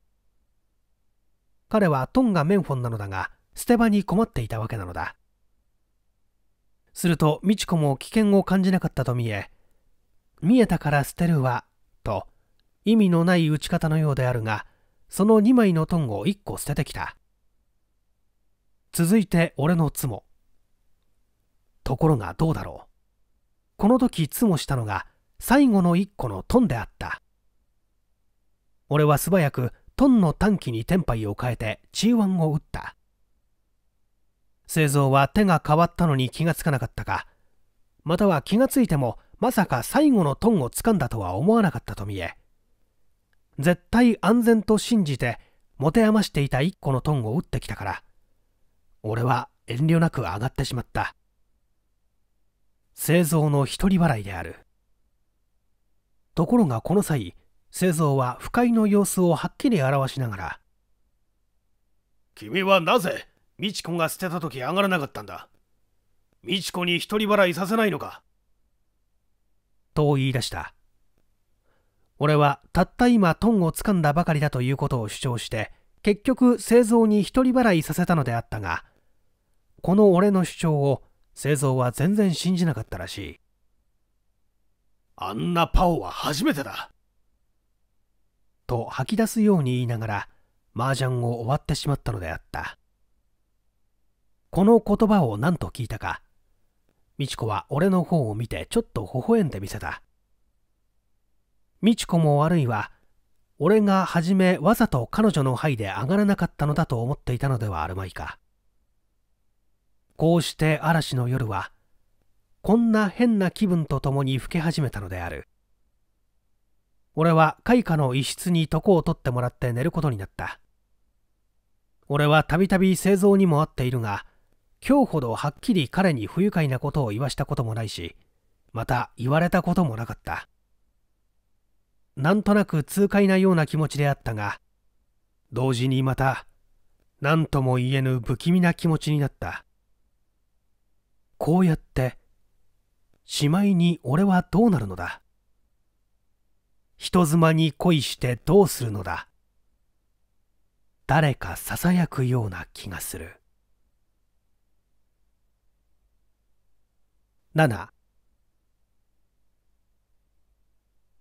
製造と美智子はちょうど俺の寝ている部屋の上に寝ているわけである。俺はかつて一度も美智子と同じ屋根の下で夜を明かしたことはない。この夜が初めてである。自分が命を懸けて恋している女。その夫婦が今自分の部屋の上で同じ部屋に寝ているのだ。こう考えただけで俺は到底眠られそうもないと思った。はじめは海で泳いだ疲れのためになんとなく眠られそうだったが、しかしいろいろのことを考え出すと目は冴えてきてとても眠られそうにもない。外は風は止んだが、雨は依然として降り続いている。俺は青年特有の感傷的な気持ちで美智子と自分とが愛し合っておりながらいかんともすることのできないありさまを考えた。ベルテルを今更のように思い出して心よいような悲しいような気分に浸っていた。が頭はまたいつか現実の世に帰ってくる。そうすると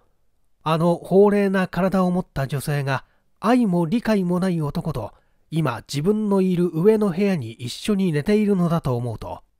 何とも言えない不愉快さが身に染み通ってくる。俺はまた心に製造を呪った。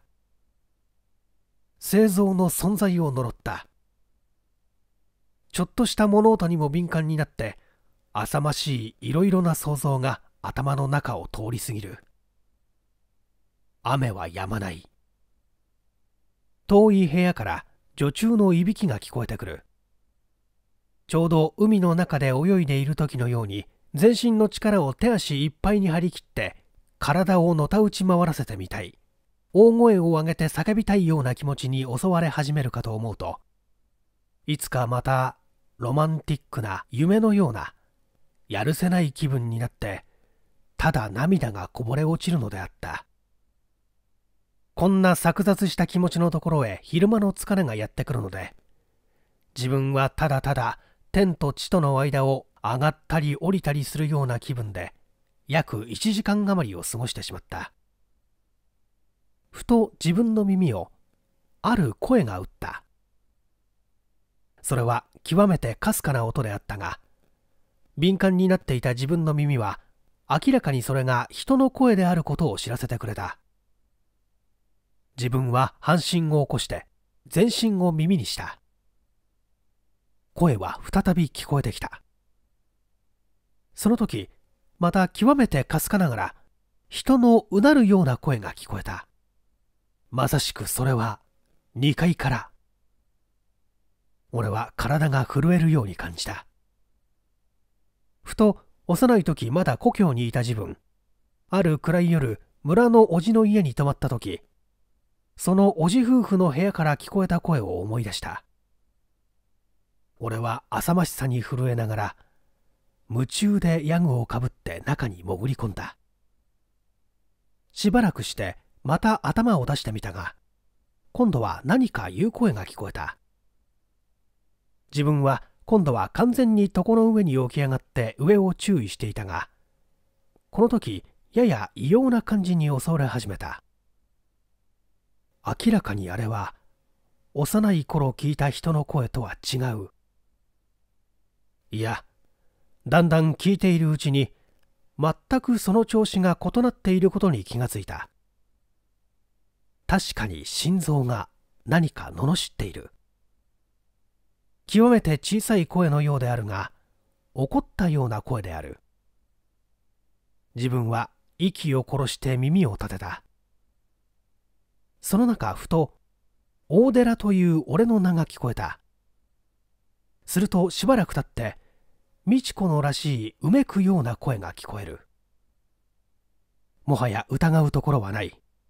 製造は確かに俺と美智子の間を疑っている。少なくも俺のことで美智子が苦しめられているのではあるまいか。俺はそっとしかし素早く起き上がった。この時の俺の気持ちは全く騎士のようであった。悪魔に苦しめられつつある姫を救う気持ちで俺は滑るように部屋を出て2階に上がっていった。夫婦の寝室の外に立って中の様子を伺うということは世にも浅ましいことに違いない。けれども俺のその時の気持ちは全てを神聖化すると言っていいくらいだった。俺は俺のために罪なくして苦しむ女性を救いに行くのだ。そうだ。俺はそう思って遠慮なくうちの様子を探ろうとしたのであった。夏のことではあるがその部屋は廊下に面した方は障子が立ててあった。しかしふと見るとその端の方から中が見えそうである。俺は素早く忍び寄って目を当てて中を眺めた。ちょうどそこからは電気のスタンドがはっきり見える。それに照らされて白い蚊帳を通して製造が全く床から起き上がってやや前こごみになってうずくまっているのがはっきりわかる。俺がそれを発見した途端貴様やっぱり大寺を愛しているんだな。と彼がつぶやくように言ったのであった。俺は必死になってその障子を少し引き上げた。そして製造がうずくまっている前の方を見ることができた。その刹那俺はもう少しであっと叫ぶところであった。見よ。そこには俺の愛する美智子が上半身をむき出し両腕をギリギリと後ろ手に縛られて横たわっているではないか。そして製造は大寺というたびごとに美智子も苛むと見え美智子はかすかなうなり声を発している。俺はもはや我慢ができなくなった。俺のために美智子はあんなに苦しんでいるのだ。どうしてこれが見ていられよう。俺はいきなり障子を蹴倒して飛び込もうかと思った。しかし俺は一歩を踏みとどまった。美智子が夫の問いに対して何と言うかをはっきり聞こうがために。しかし次の瞬間に製造の手に光るものを見た時は我慢ができなかった。どうだ？言わないか？こう言いながら美智子の方のあたりにかざした製造の手には明らかに刃物が見えた。同時に美智子の声らしく「あいた!」という小さい力のこもった声が聞こえた時俺はもう障子を蹴倒して部屋の中に飛び込んでいったのである。中の驚きはもちろんであった何をするんだ？と叫んで俺が飛び込んだ時は同時に製造が驚いてなんだ？誰だ？と叫んで立ち上がった時であった。俺は夢中で飛び込んだ時蚊帳にぶつかったと見え釣り手は引きちぎられてだらりと垂れかかったが俺も製造もいつの間にか跳ねのけていたと見えるぐるぐる巻きに縛り上げられて横たわっている美智子をそばに製造と俺とは突っ立ったままで睨み合った。そこにはものすごい沈黙があった。製造は驚きからやっと自身を取り返したらしく右手に刃物を持ったまま俺を睨みつけて立っていた。おおこの瞬間を境にして俺は地獄に落ちねばならなかったのだ。この奇怪な沈黙が破られた途端この場にいた三人の命は永遠に呪われたのである。この沈黙は美智子によって破られた。一郎さんあなたバカね。本当に。両手を縛られ責め苛まれていた美智子が発したこの奇怪な一言は俺のために天地を覆らしたのだ。おお美智子の今の言葉今の笑い声。電光のごとく俺の頭にひらめいたものがあった。俺は雷に打たれたように感じてそこに石のようになって立ちすくんだ。ぐらぐらと脳みそが動揺したような感じがしたと思うと耐えきれずにそこにそのままうずくまってしまったのであった。俺は今獄中にあって当時の様子を振り返りながらできるだけこの時の状況を詳しく思い出そうとしている。その瞬間にはいろいろな感じが一度に襲ってきてほとんど何とも言いようのない気持ちがしたのであるが今冷静に振り返ってその時のことを思えば一つ一つの事実がありありと浮かんでくるのである。美智子の発した一言は俺にはあまりに十分であった。十分すぎた。俺が今までそこに思い至らなかったことは何たる愚かさであろう。製造も美智子も共に通常の性的生活をしている人々ではなかったのだ。彼らがここでやっていたことは全く一つの変態な性的乱舞に過ぎなかったのだ。製造が俺に対して快く思っていなかったことは事実であるが常にああした乱舞をしている二人の間にはやはり筋の通った芝居が必要だったのだ。俺の名は知らない間にその芝居の重要な一つの役を演じていたのだ。夫は妻を疑っておりこれを自白させるため拷問する芝居を演ずることによって満足を得妻はまた拷問されることを喜んでいたのだった。俺は身も世もあらず恥ずかしい思いに打たれてその場にうずくまってしまったのである。ところが俺のために大地を覆したあの美智子の一言はさらに大きな悲劇を引き起こしたのだった。なるほど。製造は俺を出しに使って自分の欲を満足させていたに違いはあるまい。しかし果たして製造は美智子と俺との間を疑っていなかったのだろうか。いな。彼は十分に疑っていたと言っていいのだ。それがこの場で明らかにされた。見よ。突然の俺の出現に対し美智子はこれを一生に伏し去ったが製造はこの出現を何と解釈したか。彼はうずくまっている侵入者には目もくれずいきなり美智子のところに進みそばに座りながら「どうしてここに大寺が来たんだ!」と息せわしく鋭く詰め寄ったのである。製造は今や自分が言っている芝居のセリフに自分自身が刺激されているのだ。芝居と思っていたその仕組みはあるいは事実ではなかろうか。本当に美智子は大寺を愛していてこの芝居によって二重にマゾヒズムを満足させているのではないか。これが製造の気持ちだったに違いない。いな。この時の彼の真剣さは全くこのことを信じ始めたように見えた。美智子が黙っているのを見て彼は再び言った「おい貴様本当に大寺とくっついてやがるのか?」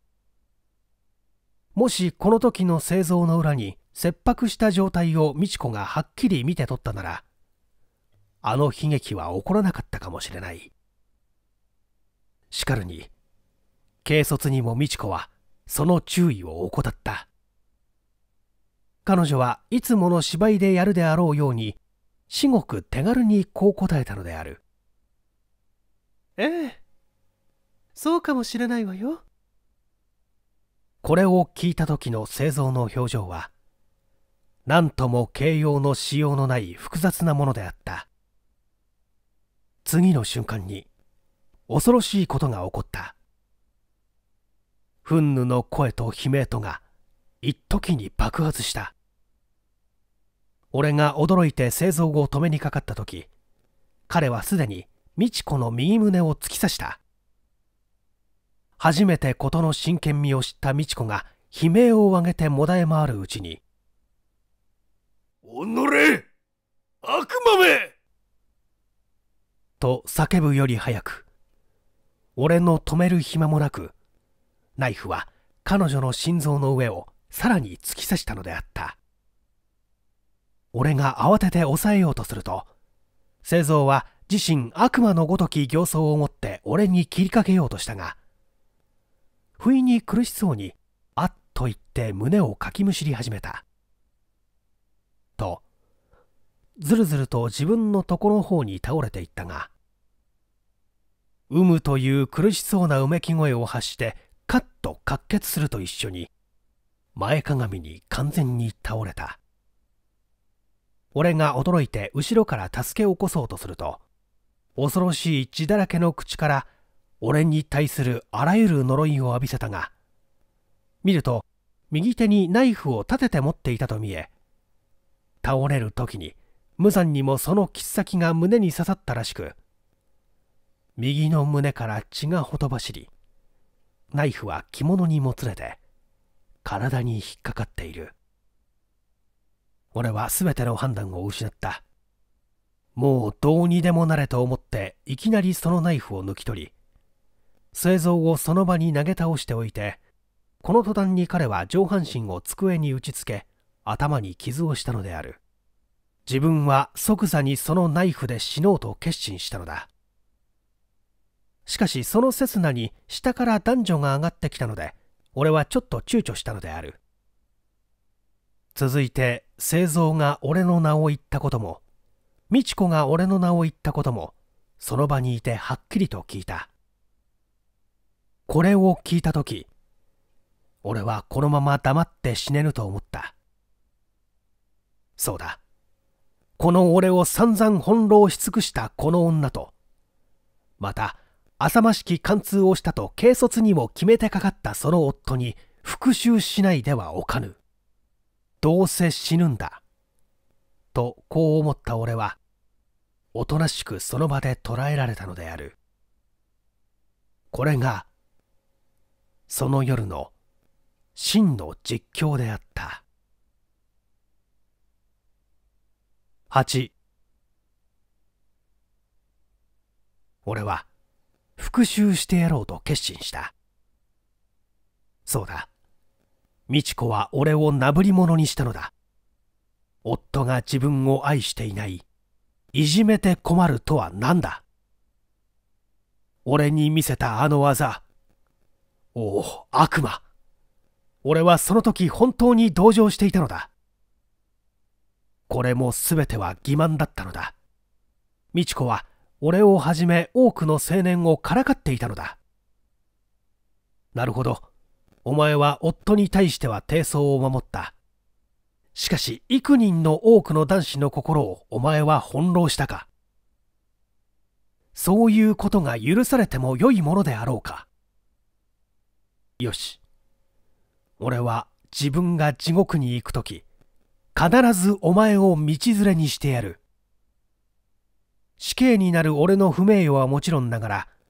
貫通した上に地上の果て殺されたと言われるお前も名誉ではあるまい。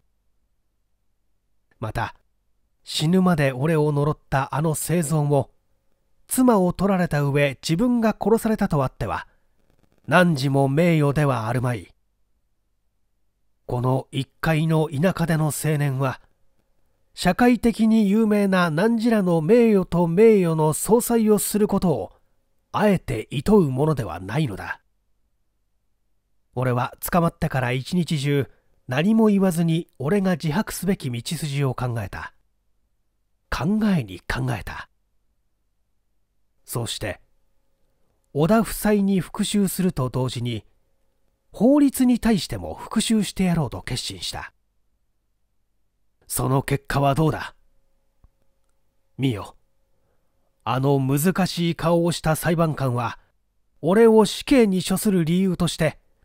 俺が美智子と長い間貫通していたと公文書を持って天下に広告してくれたではないか。美智子は俺のものだった。また永久に俺のものであることを判決文の中に歌ってくれている。俺が警察で考えた一つの小説。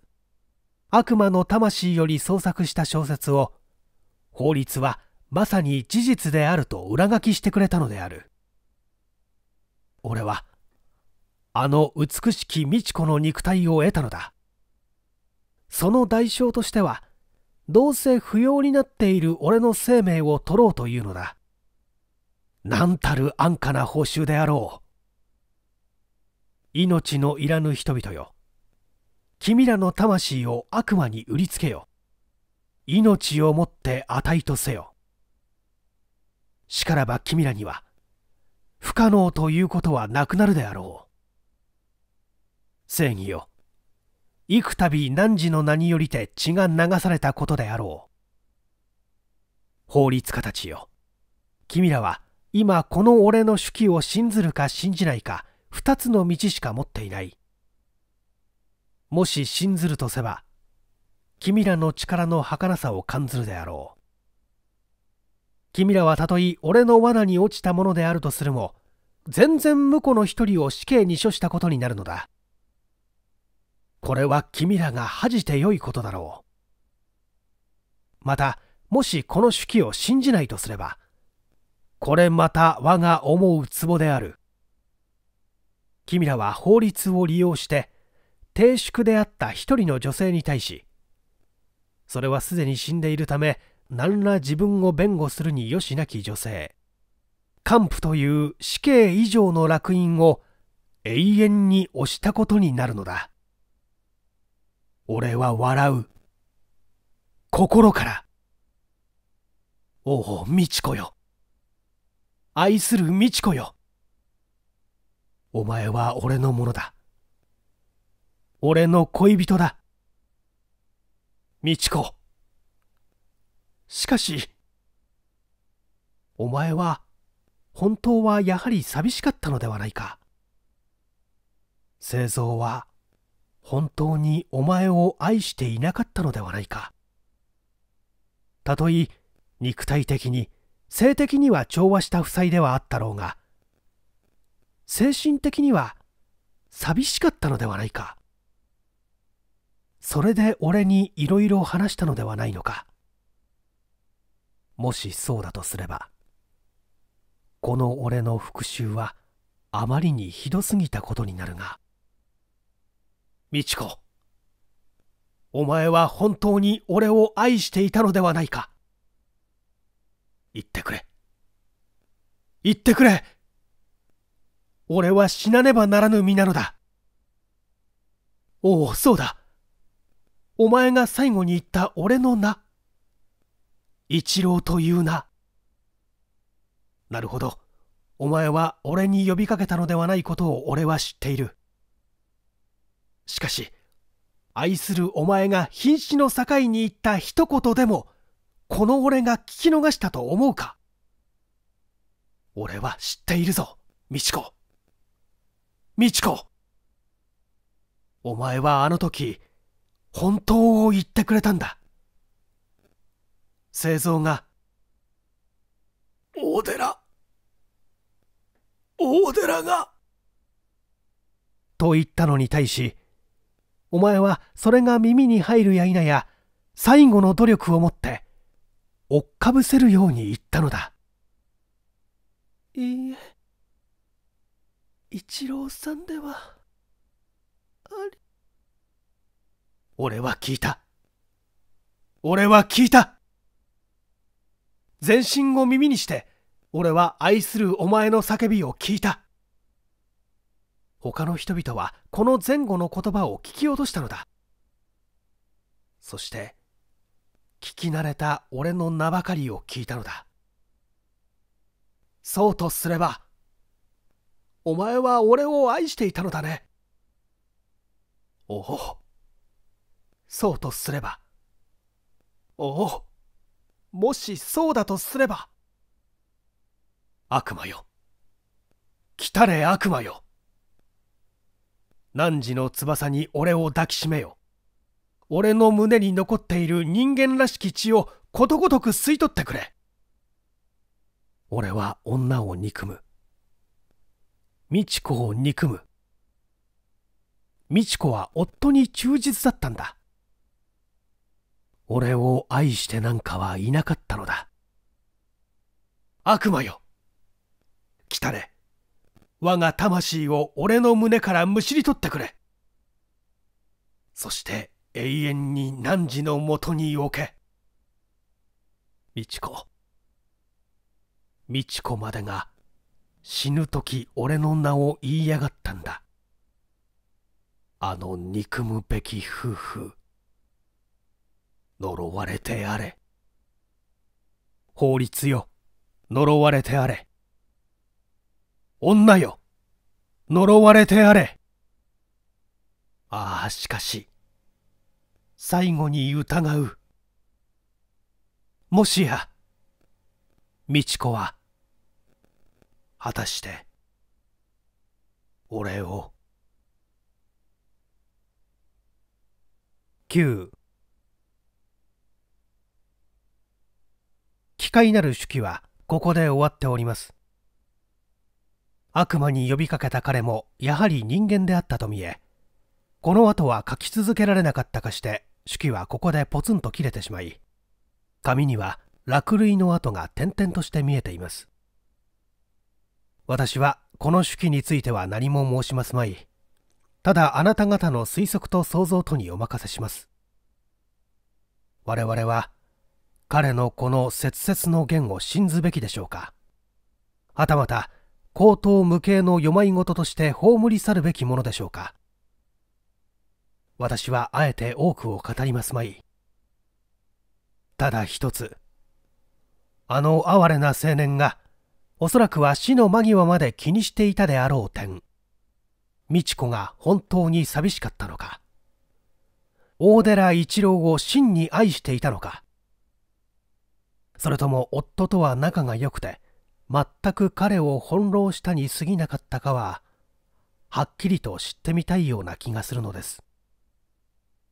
美智子としては夫をも愛さずまた大寺一郎をも愛することなくただ翻弄していたという立場もあるはずです。変態性欲者に往々にしてあることですが肉体的にはマゾヒストであって精神的にはこれと反対な人間があります。財産のために余儀ない結婚をした彼女が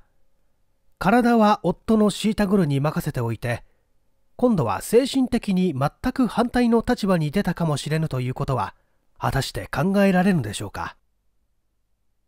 もしそうだとすれば彼女は心の中では夫をも翻弄し同時に大寺をももてあそび者にしていたことになります。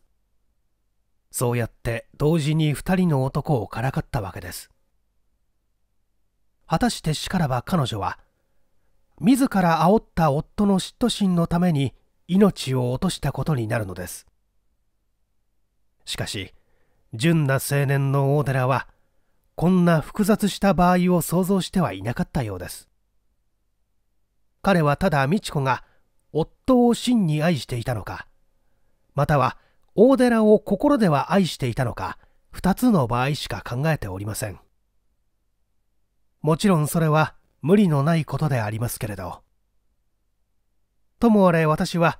この惨劇の犠牲者らに対しその死後の冥福を祈りたい。私はあるいは無実の罪で死んだかもしれないあの美しい青年のために祈ることを忘れません。またあるいは無実の汚名を着せられて地下に眠っている美智子のためにも奥付きに花の絶えぬように心がけております。